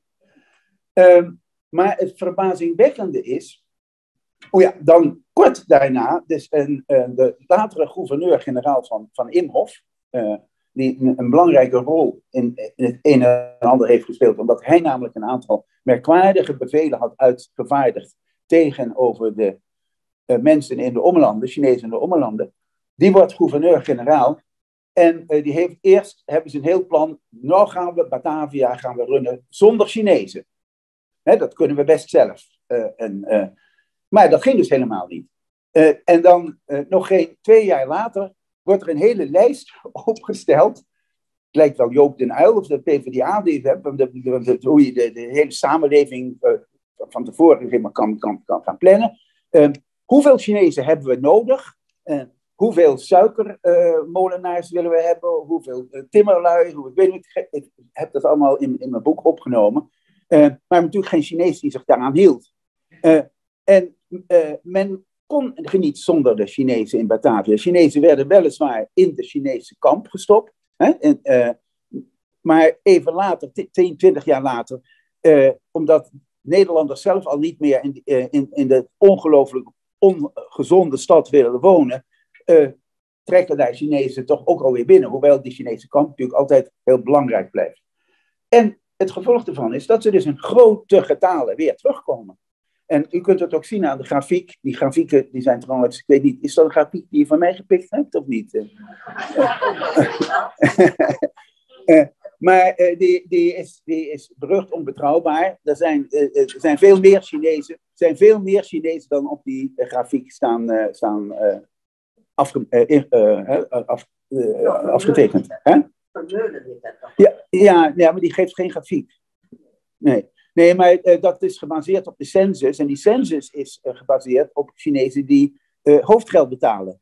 Nou, er waren minstens evenveel Chinezen die geen hoofdgeld betalen, of niet wensen te betalen, als die wel betalen. Dus er waren veel meer Chinezen dan volgens de officiële bronnen gezegd. Dus ze komen allemaal weer terug, maar ze komen wel terug onder een andere verhouding dan voor die Chinese moord. Want daarvoor was er toch werkelijk sprake, en dat geef ik ook wel aan in mijn boek, in de literatuur, wat er uit de literatuur naar voren komt, dat men de Chinezen als een geprivilegeerde burgerij zag binnen Batavia. Nou, dat is dus na 1740 niet meer het geval. En, ja, en dat kan ik dan afronden met, met, met de opmerking dat dat is dus ook het moment geweest dat men dus formeel de Kongkwan is gaan instellen en uh, met uh, de boedelmeesters en met de kapiteins en met de luitenants uh, heeft geprobeerd om die hele Chinese bevolking een, meer een, een, omschreven positie te geven binnen de koloniale samenleving. Een ondergeschikte positie. En dat hele geprivilegeerde idee dat men in het begin nog had, dat was volledig weg. Dankjewel, ja. Leonard. We hebben nu uh, even pauze. Uh, we willen wel uh, echt proberen om zo 20 over drie weer te beginnen. En de pauze is heel makkelijk, want de koffie en thee is precies hier in de ruimte. Dus, nou, dan, dan zien we jullie terug hier om 20 over drie. Maar ik ga uh, nu alvast uh, Peter Vos, onze volgende spreker, via Zoom introduceren. Peter Vos was uh, senior onderzoeker van het NIOD, het Instituut voor Oorlogs, Holocaust en Genocide Studies. Hij is gepromoveerd aan de Vrije Universiteit en heeft uitgebreid onderzoek gedaan in handel, etniciteit en machtsverhoudingen in Azië. Hij was onder andere hoofdredacteur en is co-auteur samen met Mary Tio van het boek The Quay Family in, of Chiledoek. Hij is nu bezig met onderzoek over Pranakan suikerconglomeraat Ui Tiong Ham, een begrip in, uh, in koloniale tijd, en gaat ons meer vertellen daarover. Goedemiddag, dames en heren. Het moet maar via de telefoon. Het is een beetje onhandig voor uh, deze, deze meneer hier. Aan. Maar in ieder geval, we doen ons best. Allereerst wil ik het bestuur van het Chinees Chinese Indonesian Heritage Center bedanken voor de uitnodiging. En natuurlijk Patricia ook feliciteren met een mooie boek. Tenminste, ik neem aan dat het een heel mooi boek is. Van, en ik hoop het binnenkort te kunnen lezen. Graag wil ik in de mij toegewezen tijd iets vertellen over het Oejing Ham en de wijze waarop het de periode van oorlog en conflict in Nederlands-Indië. Uh, wacht even, ja. In de oorlog en conflict in Nederlands-Indië doorstond. Zoals bij velen van u bekend was het Ham Concern het grootste Chinese, etnisch Chinese bedrijf van Zuidoost-Azië. En ook nu nog heeft het, heeft het bij velen in, binnen en buiten Indonesië een mythische klank. Bedrijf werd gesticht door zijn vader, Uji uh, Sin, die u daar links op de fotoplaatje ziet op het diagram. Maar het was eigenlijk Ujing Ham zelf die het bedrijf tot grote hoogte wist op te voeren. En hij maakte er een wereldwijd zakenimperium van, dat als enige Chinese bedrijf uit Indië kon concurreren met het westerse en Japanse bedrijfsleven en een eigen positie wist te verwerven binnen de Nederlandse en Britse koloniale machtsstructuren. Hij werd de suikerkoning van Java genoemd, de Rockefeller van Azië en de rijkste Chinees tussen Shanghai en Australië.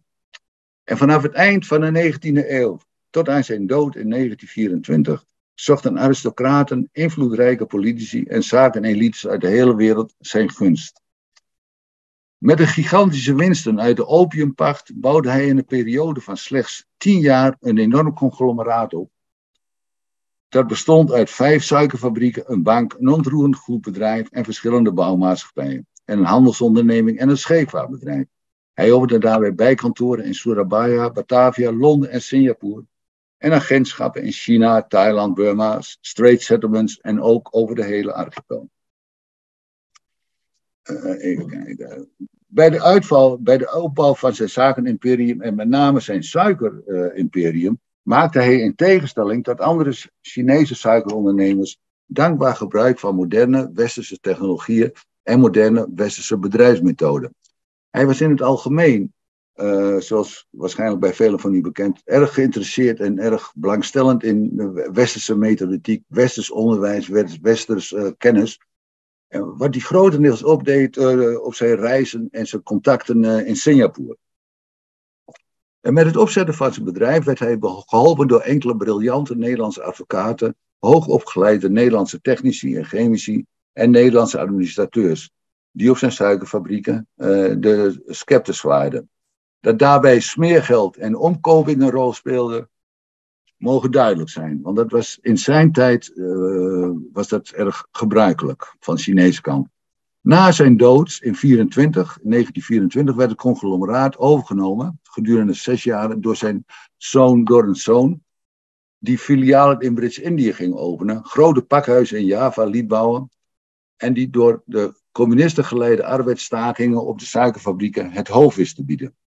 En onder wiens bewind steeds meer, en dat is heel belangrijk voor het Oeitje Hankels en ook voor het volgende verloop van het verhaal, die steeds meer uh, in Nederland academisch opgeleide Peranakan Chinezen aantrok en die, die dan ook sleutelposities binnen het concern in gingen nemen. En u heeft dan in de vorige presentaties gezien dat hoe, hoe dat onderwijs in Nederland geregeld was. En ook Patricia heeft daar waarschijnlijk ook verteld, hoewel we dat helaas niet konden zien.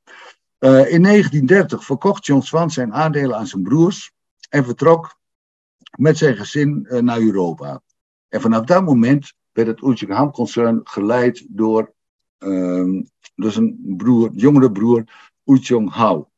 En deze stond nu voor de zware taak om het concern door de crisis van de jaren 30 te lozen. We zien hier eerst een, uh, op, een opgave van het Oezjehan-concern zoals het in 1932 uitzag. Groot handelsconcern, de exploitatiemaatschappij Oezjeham, een tapioca-fabriek, bankassociatie, een stoomvaartmaatschappij. En daarnaast bestaat de familie ook reismolens, houtzagerij en dergelijke. En ontzettend veel ontroerend goed. Hongkong, Shanghai en noem maar. De mensen die Wu Jinghao uh, hielpen om uh, door de crisis te komen, ziet u op de volgende uh, foto, volgende dia. Waarvan twee eigenlijk de belangrijkste zijn. Dat is Tantek Peng, die is, die is rechtsboven, dat is de directeur van Qianquan. En dokter Ji Tengham, de directeur van een suikerfabriek. Een ander heel belangrijk figuur, en die wordt vaak vergeten in het verhaal van uh, over is de heer, de tweede van links, boven, dat is Li Hengkun. Die werd hoofd van de Qianquan Rubber op Sumatra. En dat werd in de jaren 30, in de tweede helft van de jaren 30, werd het eigenlijk de belangrijkste tak van het hele concern. Want ze maakten gigantische winsten toen dus de suiker in ging storten. De suikermarkt in ging storten. Ah, even kijken, dan zitten we even. Al deze, nou, en al deze personen, uh, daar werd ook al over gesproken door meneer Jap, die, die, die vertelde van op, op de middelbare schoolopleiding dat daar toch een gemeleerd gezelschap was van Chinezen, uh, of Eurasiaten waarschijnlijk ook, en, en, en, en um, Indonesiërs op de, op de middelbare scholen. Nou, dat gold ook voor deze personen die u hier ziet. Al deze personen hadden goede relaties met Nederlandse bestuurders en ondernemers, maar ook met het Indonesische bestuursleden. Vaak hadden ze samen op de HBS gezeten. En zonder uitzondering hadden ze zittingen in gemeenteraden, provinciale besturen, regentschapsraden. En waren dus heel nauw betrokken bij het Nederlandse koloniale bestuur en de koloniale administratie. En uiteraard hadden, hadden ze belangrijke functies, zo niet uh, topfuncties binnen de Chinese verenigingen, handelsverenigingen, maar ook ze zetten ze klinieken op, culturele instellingen en dergelijke. Tijdens, de in, tijdens de crisis van de jaren 30, nu gaan we weer even verder, dus, dat ziet u hier, moest de Uicheng Ham-concern moest zich natuurlijk aanpassen aan de, de, de, de, de, ja, aan, aan de crisis, aan de verminderde import en export en was, zag het zich gedwongen een andere koers te gaan varen. En daarbij richtten ze een aparte uh, importafdeling op, dat zich ging specialiseren in de import van luxe goederen van de welgestelden voor de welgestelden in de samenleving. Importen kwamen uit Nederland, uit Amerika, uit uh, uh, Australië, China en Taiwan. En overal zette, zette het bedrijf toen uh, agenten op, of soms zelfs een uh, branchorganisatie. Ook exportdiversificatie. Qianquan werd de belangrijkste exporteur van mais naar Japan. Van de export van huiden en tapioca naar de VS. En ook naar van rubber naar de VS, zoals ik het net al verteld heb. Hier ziet u een aantal, in de volgende, een aantal Qianquan advertenties voor films, Chinese zijde, thee en verzekeringen. Want men stapt ook in de opkomende filmindustrie. En de, in het linker plaatje boven, uh, de linker, linker advertentie boven, ziet u dat de, de film Sleepless Nights. Dat komt, is geproduceerd door de British International Production uh, Company. En die maakt ook de films voor uh, Elvis Hitchcock. Al de, alle Elvis Hitchcock werden, films werden door hun gemaakt. En Chiang Kwan werd dus de sole uh, representative van deze maatschappij in Indonesië. Uh, maar ook ging het concern zich meer concentreren op China en Japan. En hier nam Wu Jing-hao samen met uh, Chua Su-chong het voortouw. Hij steunde de Republiek China en vond in Wang Qingwei en de opponent van Chiang Kai-shek binnen het Kuomintang-regime een belangrijke bondgenoot. Wang Qingwei's minister van Handel en Industrie, Chen Kunpo, werd zelfs een persoonlijke vriend van Zhou Hao. In tegenstelling tot uh, Chiang Kai-shek waren Wang Qingwei en Chen Kunpo fel anti-westers en steunden het Japanse idee, of stonden ze achter het Japanse idee van Azië voor de Aziaten. Iets waar Zhou Hao ook min of meer achter zat, want hij had een enorme hekel had hij gekregen aan de, die arrogante en paternalistische uh, Nederlandse uh, business leaders, om het zo te noemen. even kijken. Nou, en voor de opbouw van hun economie konden beiden de steun van zo'n omvangrijk en machtig Chinees conglomeraat goed gebruiken. In de periode 1926-1933 had Ujingham een geschatte suikeromzet van 42 miljoen gulden. Dat is in huidige termen is dat iets van 357 miljoen euro. Nou ja, u kunt dan nagaan dat met dat beschikbare kapitaal, of een gedeelte daarvan, wenden ze aan om in China te investeren. En, om, en, uh, en werd, een belangrijke, het werd het belangrijkste bruggenhoofd tussen de Chinese Republiek en Java. Dit is een beetje vreemd, omdat we denken van dat het met name de Totok uh, uh, Chinezen zijn, dus de nieuwkomers, die zich achter het Chinese nationalisme hadden geschaard. Maar vanuit bedrijfsoverwegingen was Ujiham eigenlijk de, de, de, de, belangrijkste onderneming in die relatie tussen China en, de, en, en Zuidoost-Azië. Ze gingen organiseren grote tentoonstelling van Chinese industriële producten en investeerden in een alcoholfabriek, een lucifersfabriek en een, en een koolzuurfabriek. En daarnaast zetten ze ook uh, suikerfabrieken op. En in 1934 werd Chung Kong Po uh, werd hij uitgenodigd om naar Java te komen. En hij maakte een ronde door Java, zag ook de gouverneur-generaal, ontmoette ook de gouverneur-generaal. En uh, even denken. En hij bezocht alle, alle uh, alle, alle, nou ben ik even de zaak kwijt. Hij bezocht dus alle Ujiham bedrijven. Maar de persoonlijke contacten tussen uh, met Chen Kung-po, met het Wang Jingwei-regime, kwam niet alleen vanwege uh, zelf. Nee, het was ook dankzij zijn zusters. En dat is iets waar veel onderzoekers tot nu toe een beetje naar gespeurd hebben. En ik ben er enigszins in, geslaagd om dat wat van terug te vinden. Maar in ieder geval, wat men wel wist, is dat een dochter van uh, uh, Hao, Madame Wellington Co, die u hier op de foto ziet, uh, die is getrouwd met uh, Dr. Wellington Co, die was ambassadeur of in, Groot-Brittannië, Frankrijk en de VS. En hij was ook waarnemend president van de Chinese Republiek.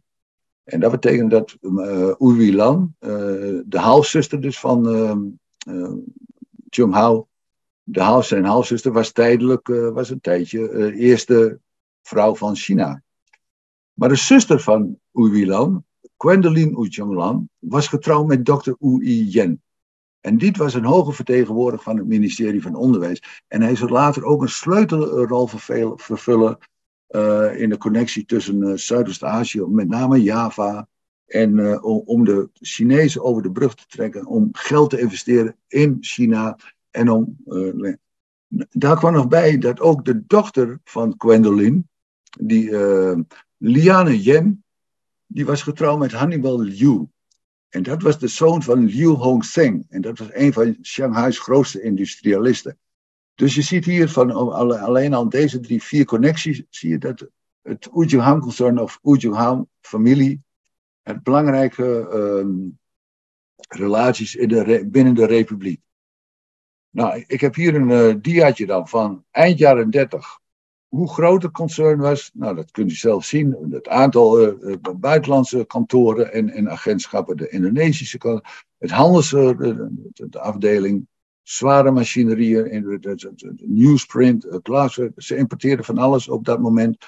Industrial departments, nou, real estate, ze zaten in de entertainmentindustrie. Uh, maar dan, dan komt de Japanse bezetting.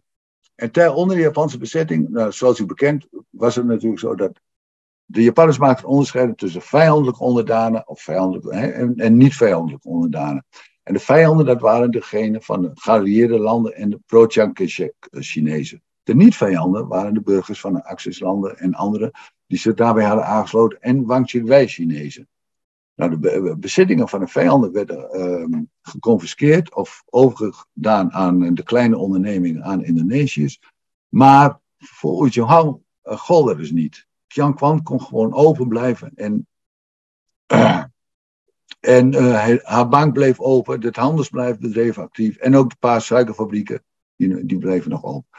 Dat betekende niet dat alle mensen die bij Ujjehang Concern werkten zo pro-Wang Qingwei of pro-Wang Qingwei waren als Hu Jintao zelf. Nee, Jitingham, Li Hussein Lim Qiaobin, dat, die waren fel anti-Japans. En die deden ook mee aan de uh, anti-Japanse uh, bewegingen. En, en, de, de, de, en zij kwamen dan ook met uh, vele andere prominenten in, in de interneringskampen. Het Japanse beleid was erop gericht om de capaciteit en commerciële talenten van de Chinezen te gebruiken voor de ontwikkeling van het zuidelijke gebieden. Nou, gelet op de omvang van het Ujingham-concern is te begrijpen dat zij, dat de Japanners dus ook niet wilden hebben dat Ujingham en dergelijke in, uh, uh, achter de grendel zouden komen of geïnterneerd zouden worden, maar kon blijven bestaan. Ujingham werd dan ook een leverancier van producten voor Japanse grote uh, Saibatsu als en Mitsubishi. Het Qianquan, uh, Shanghai, het Qianquan Shanghai kantoor, dat ze al een hele tijd, een aantal jaren daarvoor ge, um, geopend hadden, bleef ook uh, gewoon functioneren. En niet alleen dat, maar dat kreeg een heel belangrijke rol in de relatie, in de handel van katoen, rijst en garens tussen het Nanking-bewind en de Japanse zelf. Ujingham nam een, ook een belangrijke rol met Tante Peng in de Kakio Shokai, de Chinese vereniging. Hij was ook oprichter van een overzees Chinese verdedigingsmacht en hij werd lid van het Chuo Cha Sangyin, de Centrale Adviesraad. En op het eind, en daar kom ik nu even met, na, uh, aan een belangrijk punt, of uh, iets, uh, ja, aan een belangrijk punt van zijn houding over de, de werken, het leven en werken van Chinezen in overzeese gebieden. Hij, kwam, hij, werd lid ook van de onderzoekscommissie ter voorbereiding van de onafhankelijkheid. Dat was, en dat was een door een Japan opgerichte onderzoekscommissie waar uh, heel veel mensen zaten, veel Indonesiërs en een vier, vijftal, viertal uh, Chinezen. En hij was daar de belangrijkste van. Maar in de, in de BPUPK pleit Ujimahal om in het onafhankelijke Indonesië in straks een, een onafhankelijke positie in te nemen in de op te richten natiestaat. Hij wijst het Indonesische staatsburgerschap af voor de Chinezen, maar wil wel als loyaal onderdaan in de Indonesische Republiek bijdragen aan de opbouw van economie en samenleving. En eigenlijk pleit hij hiermee voor een soort van flexibel burgerschap, van een wereldburger, eigenlijk van een economisch burgerschap voor de Chinezen, zoals dat ook door zijn vader Wu Jing-han werd uitgedragen. En de, de, de, deze houding van Wu Chong-hao, uh, maar ook van zijn vader en anderen binnen het moeten we eigenlijk een beetje moeten we begrijpen als we in termen van nazistaat en dergelijke blijven denken. We zien hier uh, onder, uh, in de volgende dia, nog een, een, medicijnadvertentie van Qianquan tijdens de Japanse bezetting van Nederlands-Indië. En in de volgende, daar zien we de installatie van een Sangye in de Centraal Adviesgang, september 1943. En daar zien we Wu Jing-hao, die zien we dan in een wit pak, met een donkere das, uh, in het midden, rechts achter Sukarno. Uiterst links is Wu Chang-chui. Dat was ook een lid van het Sangyukai. En ook later van de BPUPK. Die was ook een pan-Asianist en staat uiterst links. Tot slot nog iets, want ik, ik weet niet hoeveel tijd ik nog heb. Ik hoor ook niemand. Uh, uh, het is allemaal een beetje, een beetje behelpen zo. Twee minuten. Nou, dan doen we dat even heel snel. Ja, het ging tot nu toe ook heel snel. Uh, nou, je, wilt, je wilt heel veel vertellen. En, maar dat is maar 20 minuten. Dat is een beetje jammer. Nou, gelet dus op de tijd voor wat betreft deze periode, wil ik voor wat de, de Bessiap en de oorlog en de onafhankelijke periode kort zijn. Uh, het verloop van een gewelddadige gebeurtenissen uh, is, is bij, bij iedereen van u uh, ongetwijfeld bekend. En ik zal me daarom beperken even tot het OTHC. voor de leiding van het concern was het in eerste instantie van het belang om zicht te krijgen op de verliezen in binnen- en buitenland van hun kantoren en bezittingen. En tot de teruggave van de bezittingen die door de Japanners geconfiskeerd waren. En onderzoek ter plaatse leerde dat alleen Calcutta en Bangkok goed en winstgevend gepresteerd hadden. Alle andere buitenlandse vestigingen die waren verlaten of vernietigd of gesloten. Met uitzondering van twee suikerfabrieken, die de productie onmiddellijk hervatten na 19, na, na, nadat de rust enigszins was weergekend, na midden 46 laten we zeggen.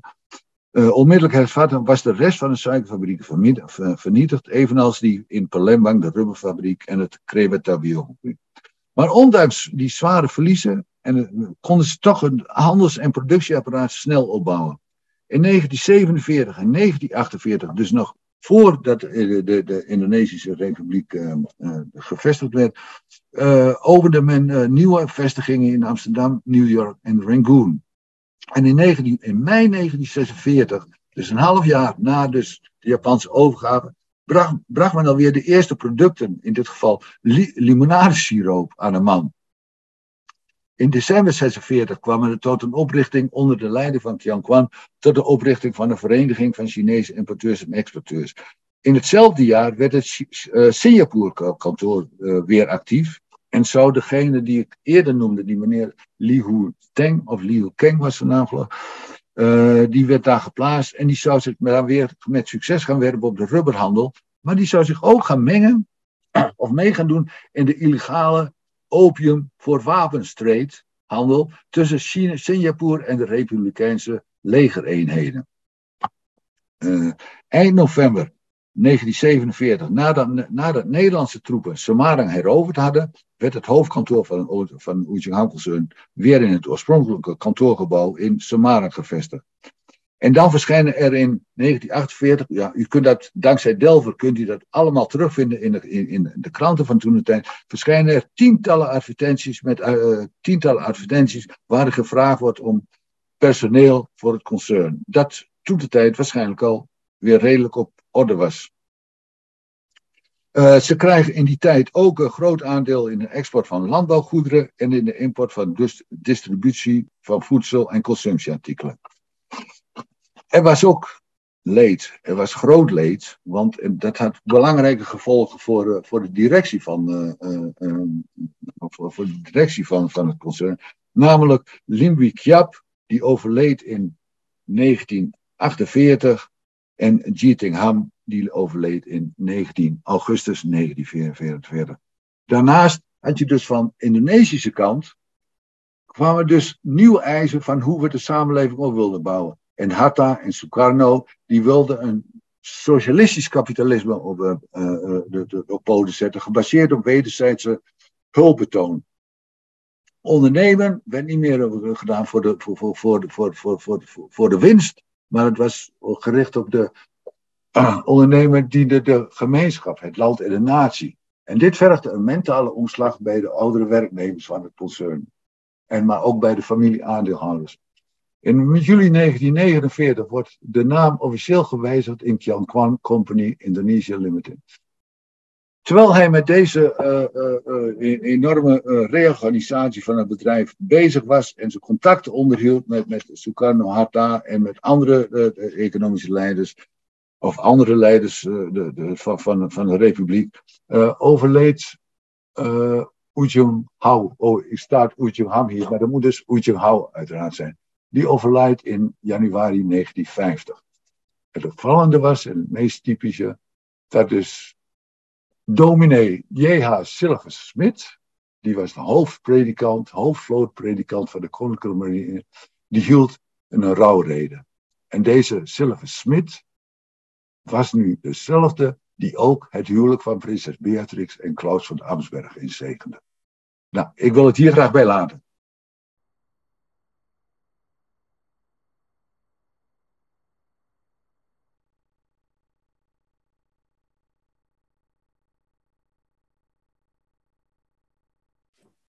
En waarom dus trokken vanaf 1957 vele weg uit Indonesië?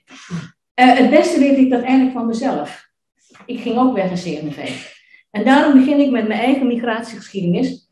Dat is namelijk een plaatje van mijn geboortetegel. Dit is mijn geboortetegel. Mijn naam en geboortedatum staan op een oorkonde. De klok slaat kwart voor twaalf en door het open raam zien we een molen en een kerk door. Hollandse kan het dus niet. Waarom deze Delftse geboortetegel? Ik werd geboren in Nederland in 1949, omdat mijn vader zijn ingenieursstudie nog moest afmaken, die hij vlak voor de oorlog moest afbreken, omdat zijn vader plotseling overleed. Na de oorlog in 1947 komt hij getrouwd terug. En in Nederland werd ik, maar ook mijn tweede dochter, zijn tweede dochter geboren, waarna hij met een diploma op zak terugging naar Surabaya. En daar wachtte de toekomst, 1952. Hij kon niet voorzien dat nog geen zes jaar later hij met zijn gezin weer de retour moest gaan richting Nederland om hier uiteindelijk te blijven. Hier eindigt dan mijn migratieverhaal. En dat toen nog voor de meesten moet beginnen. En daar zitten we hier met z'n allen eigenlijk, de gevolgen ervan zitten we hier met z'n allen. Hè? Dus we zijn echt wel heel dicht bij de recente geschiedenis. Volgende plaatje graag. Dit is mijn moeder en haar twee dochters op het schoolplein van de concordante school Pegasari in Surabaya met veel Hollandse kinderen. Het was een Holland in de tropen. Het vooroorlogse leven leek in die jaren tussen 49 en 57 weer helemaal teruggekeerd. De soevereiniteitsoverdracht markeerde een politieke dekolonisatie, maar van economische dekolonisatie was nog geen sprake. Ik citeer: Van de nieuwe onafhankelijke naties werd geen land zo opgezadeld met een verpletterende schuld en zulke ernstige beperkingen op economisch beleid als Indonesië. De gevolgen hiervan waren politieke instabiliteit, een kloof tussen gematigde en radicale leiders en steeds slechter wordende betrekkingen met Nederland. Dat heb ik niet zelf verzonnen. Dit is een quote uit het boek van Tae Kian Lee, een bekende econoom. Uh, hij publiceerde in 2012 het boek Indonesia's Economy Since Independence. Nederlandse bedrijven in het onafhankelijke Indonesië konden blijven opereren, zoals voor de oorlog. Pragmatisch beleid van de regering betekende dat economisch herstel van het door de oorlog verwoeste land prioriteit had. En daar had Indonesië met weinig tot geen professionele krachten en bestuurders de Nederlandse investeringen en expertise hard bij nodig. Maar het betekende ook dat de Nederlanders stevig in het zadel bleven zitten pogingen tot Indonesianisatie, maatregelen om de Indonesiërs toegang te verschaffen tot hogere posities in bedrijven en Indonesisch ondernemerschap te bevorderen, kwamen niet van de grond. Dit leidde tot de drastische maatregel waarbij alle Nederlanders het land uit moesten en Nederlandse bedrijven werden genationaliseerd. Dat gebeurde op 5 december 1957 en staat in de Nederlandse geschiedenis bekend als Zwarte Sinterklaas in Indonesische Sinterklaas ITA. Hiermee bewerkstelligde de regering de economische dekolonisatie van Indonesië. Van de ene dag op de andere werden 700 bedrijven door Indonesische vakbonden overgenomen. Banken, ondernemingen, maar ook plantages, mijnbouwondernemingen, scheepvaartmaatschappijen en Nederlanders moesten binnen enkele maanden het land verlaten. En dat waren in principe zo'n 50.000 personen. In hun kielzog verliet ook ons gezin Indonesië. Voor het onderwijs legden mijn ouders mij uit, want onze concordante school ging dicht. In hoofdstuk 8 van Chinezen in Indonesië, studenten in Nederland, kunt u een stukje lezen over het laatste Nederlandse onderwijs in Indonesië. Het Chinese probleem, masalah China. Hier was een belangrijke minderheid we gaan weer terug naar de economische situatie. Hier is een belangrijke minderheid die een bevoorrechte positie had genoten in de koloniale maatschappij. Zij waren in het bezit van en beheerden vrijwel de gehele binnenlandse handel en de commercie van de natie. Hoewel de meerderheid permanent gevestigd was in Indië en Indonesische moeders of grootmoeders had, bleef men vasthouden aan de eigen gewoonten. Dit is een citaat uit het boek van Donald Wilmot, The National Status of the Chinese in Indonesia 1900-1958, geschreven in 1976. Met andere woorden, Indonesië erfde niet alleen het probleem rond het staatsburgerschap voor de voormalige vreemde Oosterlingen, het erfde ook het reeds in de koloniale periode geformuleerde Chinese probleem. Want het einde van de hegemonie van Nederlandse bedrijven betekent niet het einde van de economische dominantie van de Chinese gemeenschap. Zowel van diegenen met de Indonesische nationaliteit als ook diegenen die de Totok-Chinezen zijn en de Chinese nationaliteit behouden. De Chinezen spelen sinds koloniale tijden een belangrijke rol, met name in de tussenhandel, de rijspellerijen en de kredietverstrekking. Op het platteland is deze bevolkingsgroep ingebed in de samenleving. Als tokohouder, distributeur en geldschieter. Hun belangen zijn verstrengeld met die van de inheemse bevolking. Maatregelen zoals het benting-systeem, bedoeld om Indonesisch ondernemerschap te bevorderen en het Chinese aandeel in de economie te verminderen, mislukken. Uh, plaatje 6. Ja. Dan zal ik één voorbeeld geven van wat voor maatregelen getroffen zijn. Dat is die beruchte PP10, Peraturan Presiden Nomor 10 in 1959. Dat was de beruchtste maatregel tegen Chinese midden- en kleinhandel. Het wordt de buitenlandse uh, Chinezen verboden om een zaak te hebben op het platteland en in middelgrote steden. Maar WNI-Chinezen vallen niet onder deze regel. Maar wie is Indonesië en wie niet? Die vraag is vaak niet makkelijk te beantwoorden, want de wet op dubbele nationaliteit van 1955 is nog niet geratificeerd en wordt pas in 1960 van kracht. Deze PP10-maatregel wordt vrij willekeurig en soms buitensporig hardhandig door de lokale militairen toegepast. In bepaalde gebieden treden commandanten zo hard op dat de Chinese bevolking zelfs wordt uitgezet. Meer dan 100.000 Chinezen verlaten het land. Velen vertrekken naar China, dat schepen stuurt om deze ontheemden te repatriëren. Het wordt een grote diplomatieke rel. De plotselinge sluiting van, het middenstands, van de middenstandswinkels veroorzaakt chaos in de economie. En in de volgende jaren wordt de PP10-maatregel maar gedeeltelijk of helemaal niet meer toegepast en sterft een stille dood. En tot slot geweld tegen Chinezen.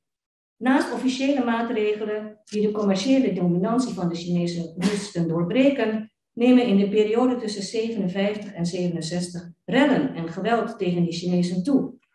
En daardoor voelen ook BNI-Chinezen zich onveilig en bedreigd. In 1963 in West-Java vinden ernstige onregelmatigheden plaats tegen Chinezen in Sukabumi en Bandung. Ten slotte eindigt het met de mislukte coup van 1 oktober 1965, in Indonesië bekend als Gestok of Gerakan 30 September.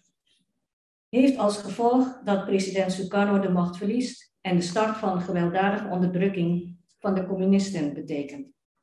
En weliswaar zijn voornamelijk Indonesiërs slachtoffer in de moordpartijen, maar de volgende twee jaar zijn ook een angstige periode voor zowel WNI als Chinezen.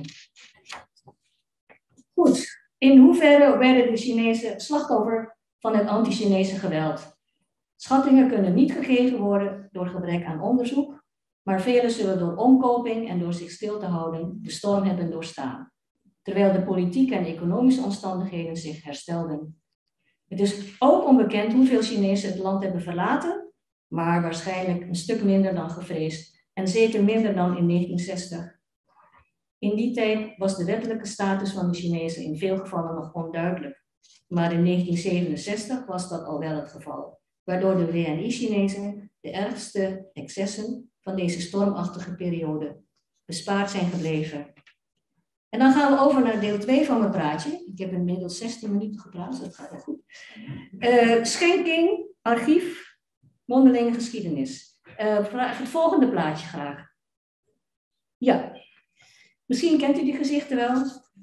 Uh, van links naar rechts ziet u Swanny T., de coördinator van het mondeling geschiedenisproject, Patricia Choglin, Koert de Belder, directeur van de bibliotheek, en Doris Jedamski, conservator van de universiteitsbibliotheek.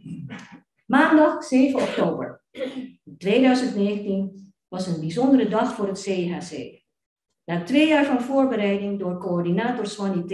en voorzitter Patricia Choglin vond de schenking plaats van archief Mondelinge Geschiedenis aan de Universiteitsbibliotheek Leiden.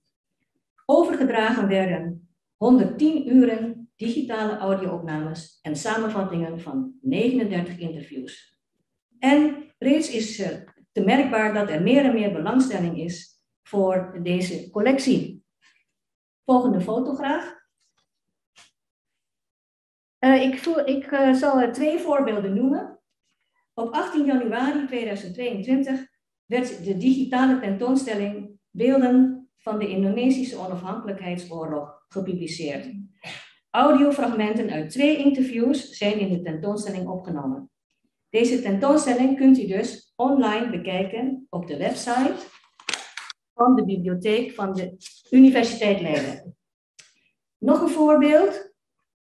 Het Nationaal Comité 4 en 5 mei maakt gebruik van de collectie in verband met een onderzoek over de doorwerking van herinneringen van ouders of grootouders aan de Tweede Wereldoorlog in Nederland of in Indonesië, naar hun kinderen en kleinkinderen. Met deze schenking is daarom toch een belangrijke stap gemaakt in de doelstelling van het CIHC, het behoud van ons erfgoed en het vastleggen van onze geschiedenis. Um, tot slot breng ik twee respondenten voor het voetlicht ter illustratie van wat Chinezen kon overkomen in de periode 57-67. Ik dank Chua Ali en Ems Zuidgeest voor hun toestemming gebruik te maken van privéfoto's. Uh, volgende plaatje graag. Um, Chua Ali is de zoon van Chua Sik-in, een arts uit het linkse socialistische veld in de vooroorlogse en naoorlogse politiek van Indonesië. En Xu Kan is de kleinzoon van Ha Kan, de bekende Kan Hok Hui, die voor de oorlog een dominante rol speelde in het rechtsconservatieve veld van de politiek in Nederland-Indië. Dit is een foto van Chua Sik-in. Hij staat daar helemaal rechts met het brilletje. Ik heb het hier, de ondertitel is verkeerd, er staat links, maar het moet rechts zijn. Uh, wat is hier gaande? Het is een uh, foto uit 1949 uit het Nationaal Archief. Hij, is, hij was krijgsgevangen genomen, samen met Xiao Biok-chang overigens. En tijdens de decolonisatieoorlog. En hij wordt hier uitgewisseld met Nederlandse gevangenen. In het begin van de 20e eeuw hielden de opkomst van nieuwe politieke ideeën, het marxisme, Indonesië als zelfstandige republiek, niet alleen Indonesische studenten in Nederland bezig, maar ook de Chinese studenten waren erg geïnteresseerd en heel intensief ermee bezig. Deze ideologieën brachten studenten mee naar Nederlands-Indië. Chua Sik-in, in Nederland afgestudeerd als arts, was een van hen. Chua Ali vertelt in zijn interview over zijn vader. Hij kwam uit een gezin met dertien kinderen. Ze hadden het niet breed. hij was de enige die kon doorstuderen in Nederland. En daar leerde hij zijn Duitse vrouw kennen. Hilde, een zwemkampioene, maar Joods, zodat ze moest vluchten naar Nederland. En daar leerden ze elkaar kennen. In 1932 richtte Chua Sik-in de partij Tionghoa Indonesia op, de Chinees-Indonesische partij, met Lim Kun Hyun onder andere. De familie Chua Sik-in en de familie Xiao Biok-chan, die al vermeld is als voorzitter van Baperki, waren goed bevriend en hielpen elkaar door de Japanse bezetting en de decolonisatieoorlog heen. Chua en Xiao waren door de Nederlanders opgepakt en gevangen gezet en uitgewisseld, dat wil ik al vertellen. Volgende foto graag. Dit is het gezin Chua Sik-in. Helemaal links is Aman, een zus die geboren was in 46. Dan komt vader, dan komt Ali zelf, hij is van 1943. Moeder Hilde en uh, broertje van uit 1952. Goed, ik had al gezegd, zijn vader was behoorlijk links-socialistisch, dus zijn zoon stuurde hij naar Moskou om medicijnen te studeren. Er studeren daar meer Indonesische studenten. Hij vertelt hierover. Vrienden van mij, die samen met mij vertrokken waren in 1960, studeerde in 1965 af en gingen terug. Maar na de coup werden ze allemaal opgepakt, omdat ze in Moskou hadden gestudeerd. Sommigen kwamen zelfs op Boero-eiland terecht. In 1966 werd mijn paspoort ingetrokken omdat ik geen steunbetuiging aan Suharto wilde tekenen. De weg terug naar Indonesië was afgesneden. Migreren naar China lag voor de hand, maar daar heerste de chaos van de culturele revolutie. Chua Ali migreerde naar Noord-Vietnam, waar hij bleef tot begin jaren 70 en werkte als arts. Het was een fantastische tijd, vertelt hij zelf. Hij vertrok naar Oostenrijk daarna, waar zijn vader toevallig op reis was toen de coup plaatsvond. Als links-socialist kon hij ook niet terug naar Indonesië, maar naar Nederland wilde hij ook niet, uit principe, omdat hij gevangen had gezeten. Zoon Ali is vanuit Oostenrijk na enkele jaren doorgemigreerd naar Nederland. En hij is in het bezit van drie artsendiploma's. Russisch, Oostenrijks en Nederlands. Doe dat maar na. Dan de volgende fotograaf. Dan over Xiu Yaokan. Links ziet u een foto uit 1952 met zijn zusje Gi Qin, genomen in de tuin van hun huis in Jalan Tekeu Umar 13, het voormalige Van Heuts Boulevard. En rechts ziet u een foto die ik zelf gemaakt heb toen ik Xu Kan interviewde in zijn huis in 2013 in Nederland. Ten slotte nog eindig ik dan met Xu Kan, die helaas onlangs is overleden. Xu Kan was onze eerste respondent en heeft vele bijdragen geleverd aan de rubriek Foto met verhaal op de website van het CHC. Hieronder volgt een fragment of twee of zijn, over zijn interview. Ik heb nog net genoeg tijd, ja, zeven minuten. Tot 1959, zegt hij, hadden we geen last van discriminatie. Maar met de Peraturan-president moesten alle Chinezen de dorpen en kleine steden uit. Dat was het begin van allerlei pogroms. Zwaar woord. Winkels werden geplunderd. De bedoeling was om uitzuiging van de bevolking tegen te gaan. Door de Chinezen. Ik was vrij jong, maar ik merkte het direct. Omdat een oom uit Sukabumi bijna huilend bij ons kwam, omdat zijn fabriek verbrand was. Zijn huis hadden ze geplunderd. Het was voor het eerst dat ik me bewust werd dat we anders waren. Daarvoor voelde ik me gewoon Indonesiër. Dan komt die koe.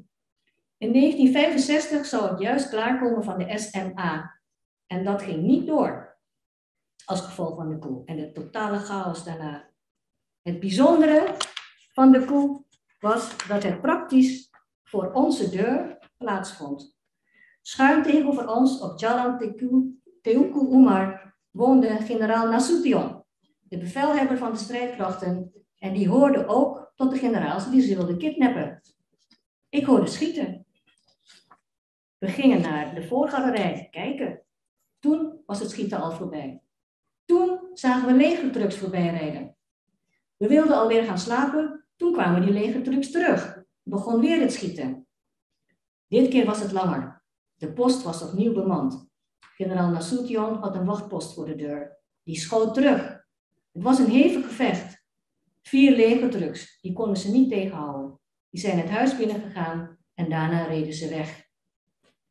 Mijn oudere zus en ik keken. Mijn zusje en ouders zijn er doorheen geslapen. Waarom kwamen ze terug? De volgende dag was er niets. Op de radio werd gezegd dat een koe van de generaals was verijdeld. We gingen naar school, kwamen terug. Intussen was mijn moeder bij mevrouw Nasution geweest. En toen hoorde ze dat diens dochtertje vermoord was. Maar haar man veilig, die had kunnen vluchten. Dit zijn drie voorbeelden van migratie die ik gegeven heb in mijn praatje. Mijn vader, die voor het onderwijs vertrok in 57. Chua Ali, die niet meer terug kon in 66. En Xiu Yaokan, die zich gedwongen voelde om weg te gaan. Uiteindelijk zijn Chua Ali en Xiu Yaokan in de jaren 70 terechtgekomen in Nederland. Vijftig jaar later vroeg ik hen tijdens een interview hoe zij zich nu voelden. Chinees, Nederlander of Indonesiër? Allebei voelden ze zich nog steeds het allermeest Indonesiër. Dan de laatste foto. Dit, is, uh, dit zijn de medewerkers en, en uh, vrijwilligers en, en, van de uh, eh, CIHC in 2017 op de TomTom Fair, en waar een boekpresentatie werd gehouden van de eerste publicatie van het CHC, een foto vertelt. Uh, is het belangrijk dat we ons het verleden van onze ouders, grootouders voor de geest kunnen halen? Ik vind van wel, Om de weg naar je toekomst te vinden, moet je weten wat je aan bagage reeds hebt ontvangen. Daarom heb ik tot slot een oproep aan u. Uh, waar is die oproep heb je nog een vader of moeder die in leven is? Grijp ze bij hun jasje en vraag of ze een paar uur de tijd willen vrijmaken om je hun levensverhaal te vertellen. Leg het vast met een audio, audio-opname. Als medewerker van Mondeling Geschiedenis heb ik veel mensen geïnterviewd en het was altijd een ervaring die me rijker heeft gemaakt. Er was eens een populair boekje in de jaren 70 dat was getiteld Mijn man vertelt me nooit wat. Hetzelfde gold voor mijn ouders. Zij vertelden nooit wat, zeker niet over de oorlog. En keer op keer hoor ik van anderen en denk ik ook bij mezelf, ze zijn al overleden. Maar ik had ze nog zoveel willen vragen. Dank u wel.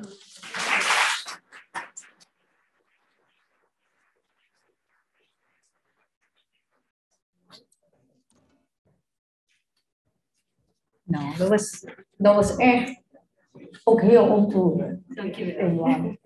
Um, ik denk dat wij uh, nu uh, eventjes kleine tien minuten hebben voor uh, vragen.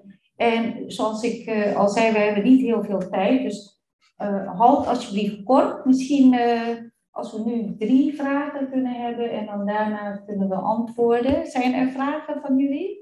Van het publiek? Van andere sprekers. Ja, voor, voor, voor alle sprekers, zeg maar.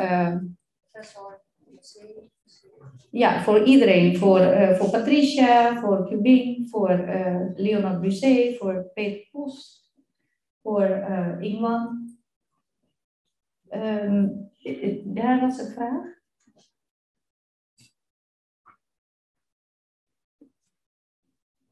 Ja. Ik heb een vraag over de afkomst van de Chinezen in Indonesië ik ben dus een Indo.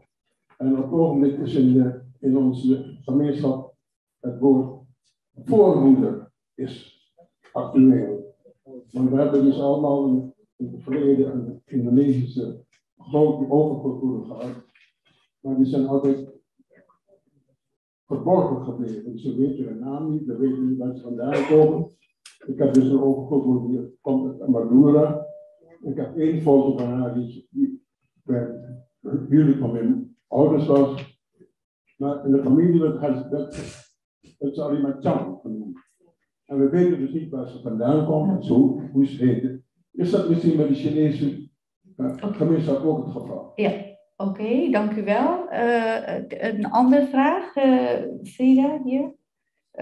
Ik heb eigenlijk geen vraag, alleen een opmerking. U gebruikt die termen WNI en WNA. Ja. En dat was voor mij een beetje, ik raakte een beetje in de war bij de eerste keer dat, dat u dat gebruikte. Hmm. Want WNI is, ja, dat is een bestaande term. Ja. Warga Negara Indonesia.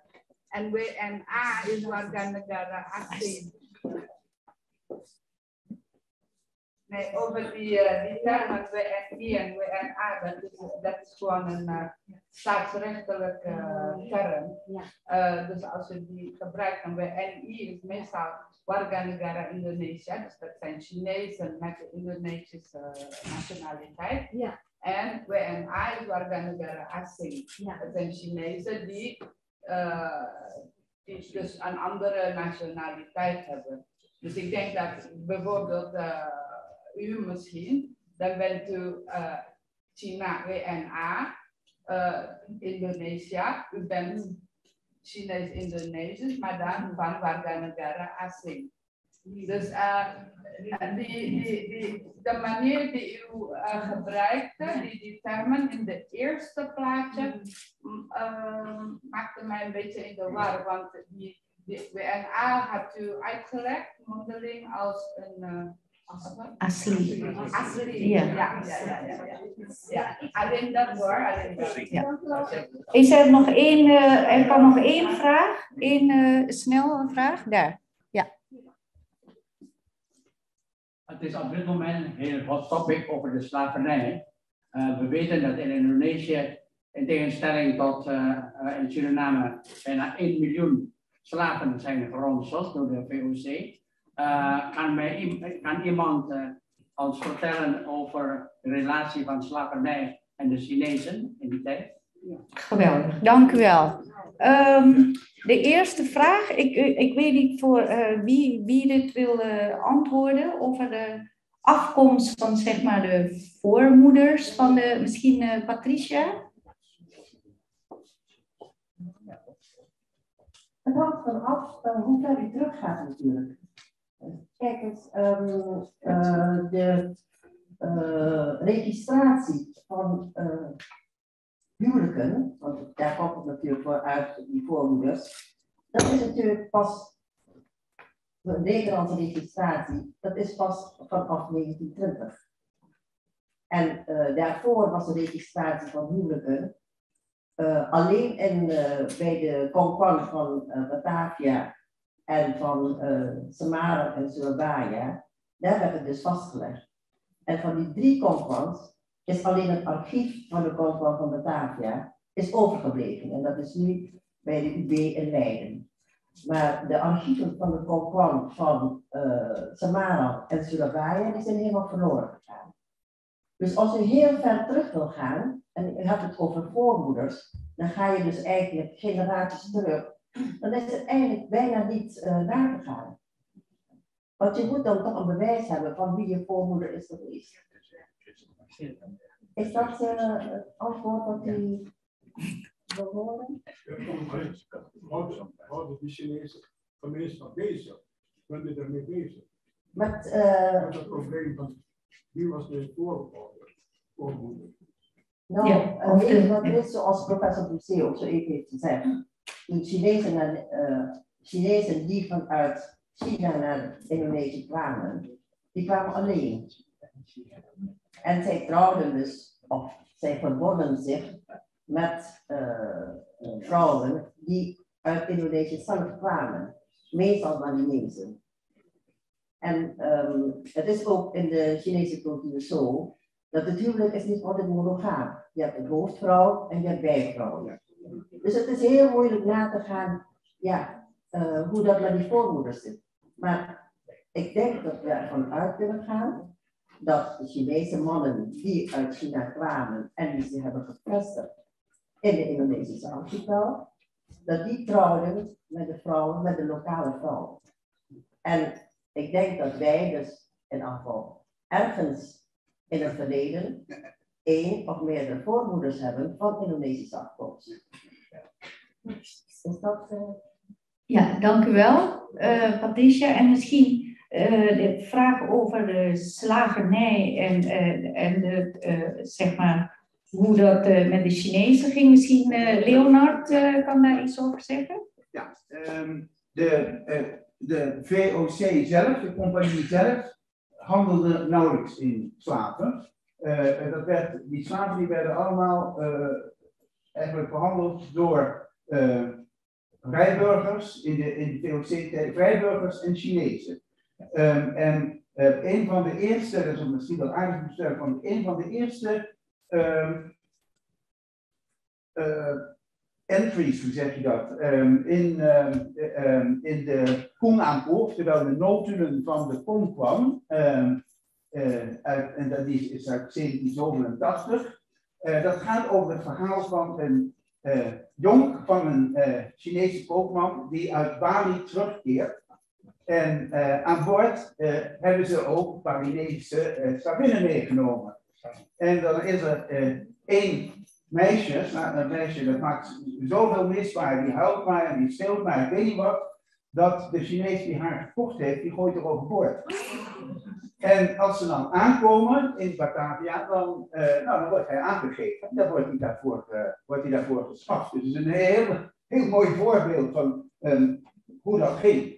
Uh, maar uh, Chinezen hadden zelf ook slaven, ze handelden in slaven, uh, dat deden de vrijburgers ook. En eigenlijk was um, in Batavia was dat, die, die slavernij, dat was grotendeels huisslavernij. Hè?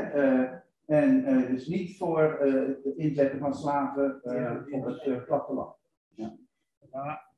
Maar die vrijburgers hadden uh, op, op, uh, in naam van de VOC, hoor, de VOC. Nee, nee, nee, helemaal niet. Nee, nee, nee, nee. Dat nee, nee, nee, nee, want vrijburgers hadden ja niks te maken. Ja. En ze gingen vanuit Makassar. En ze houden vooral, ze kochten ze in, in, uh, in Makassar en in Bali. Uh, Madagaskar tot Seram, hè? allemaal. Ja, nee, maar, maar de is nou een van die voorbeelden uh, waar de, de samen vooral het voorbeeld gehaald werden voor Zuid-Afrika. En dat is inderdaad, gebeurde dat in het kader van de VOC. Maar in uh, Indonesië zelf, of de archipel, als je het zo zou willen noemen, uh, was het, de, werden oorspronkelijk ook de slaven vooral uit Zuid-India gehaald. Ja. He, dus de, de, de, de, de de, uh, de Mardika's, de, Mardika's, de Mardijkers, uh, dat waren meestal af, afstammelingen van, van, van uh, Indiaanse slaven. Ja. Heb ik daarmee het antwoord ongeveer gegeven? Of misschien het antwoord wat u hebben wilde? Dank u wel. Uh, misschien is er nog, er is nog tijd misschien voor één laatste vraag, als er nog iemand is. Ja, één laatste vraag. Daarachter. Christopher. Uh, meneer de helemaal achter. Ja, daar. Kort, uh, we moeten het kort houden, want uh, hierna. Ja, ik heb een hele korte vraag en het fascineert me wel. Um, Oeitom Han, die had een wereldconcern. Hij ging overal naartoe, hij reisde overal, zijn familie ging overal naartoe. Welke nationaliteit, wat voor paspoort had hij? Nou, dat moet uh, Peter Post uh, antwoorden. ik, een flexibele burger. Ja, ik, uh, ik weet niet of we ehm, bij de technische mensen kunnen we Peter Post nog krijgen aan de telefoon.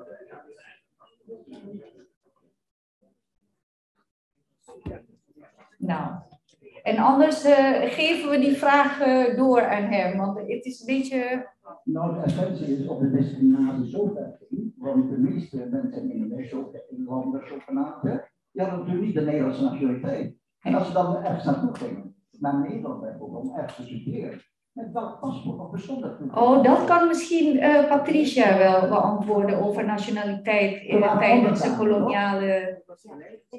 Ja. Mag, mag ik even iets zeggen? Ik heb zelf een, een verhaaltje geschreven.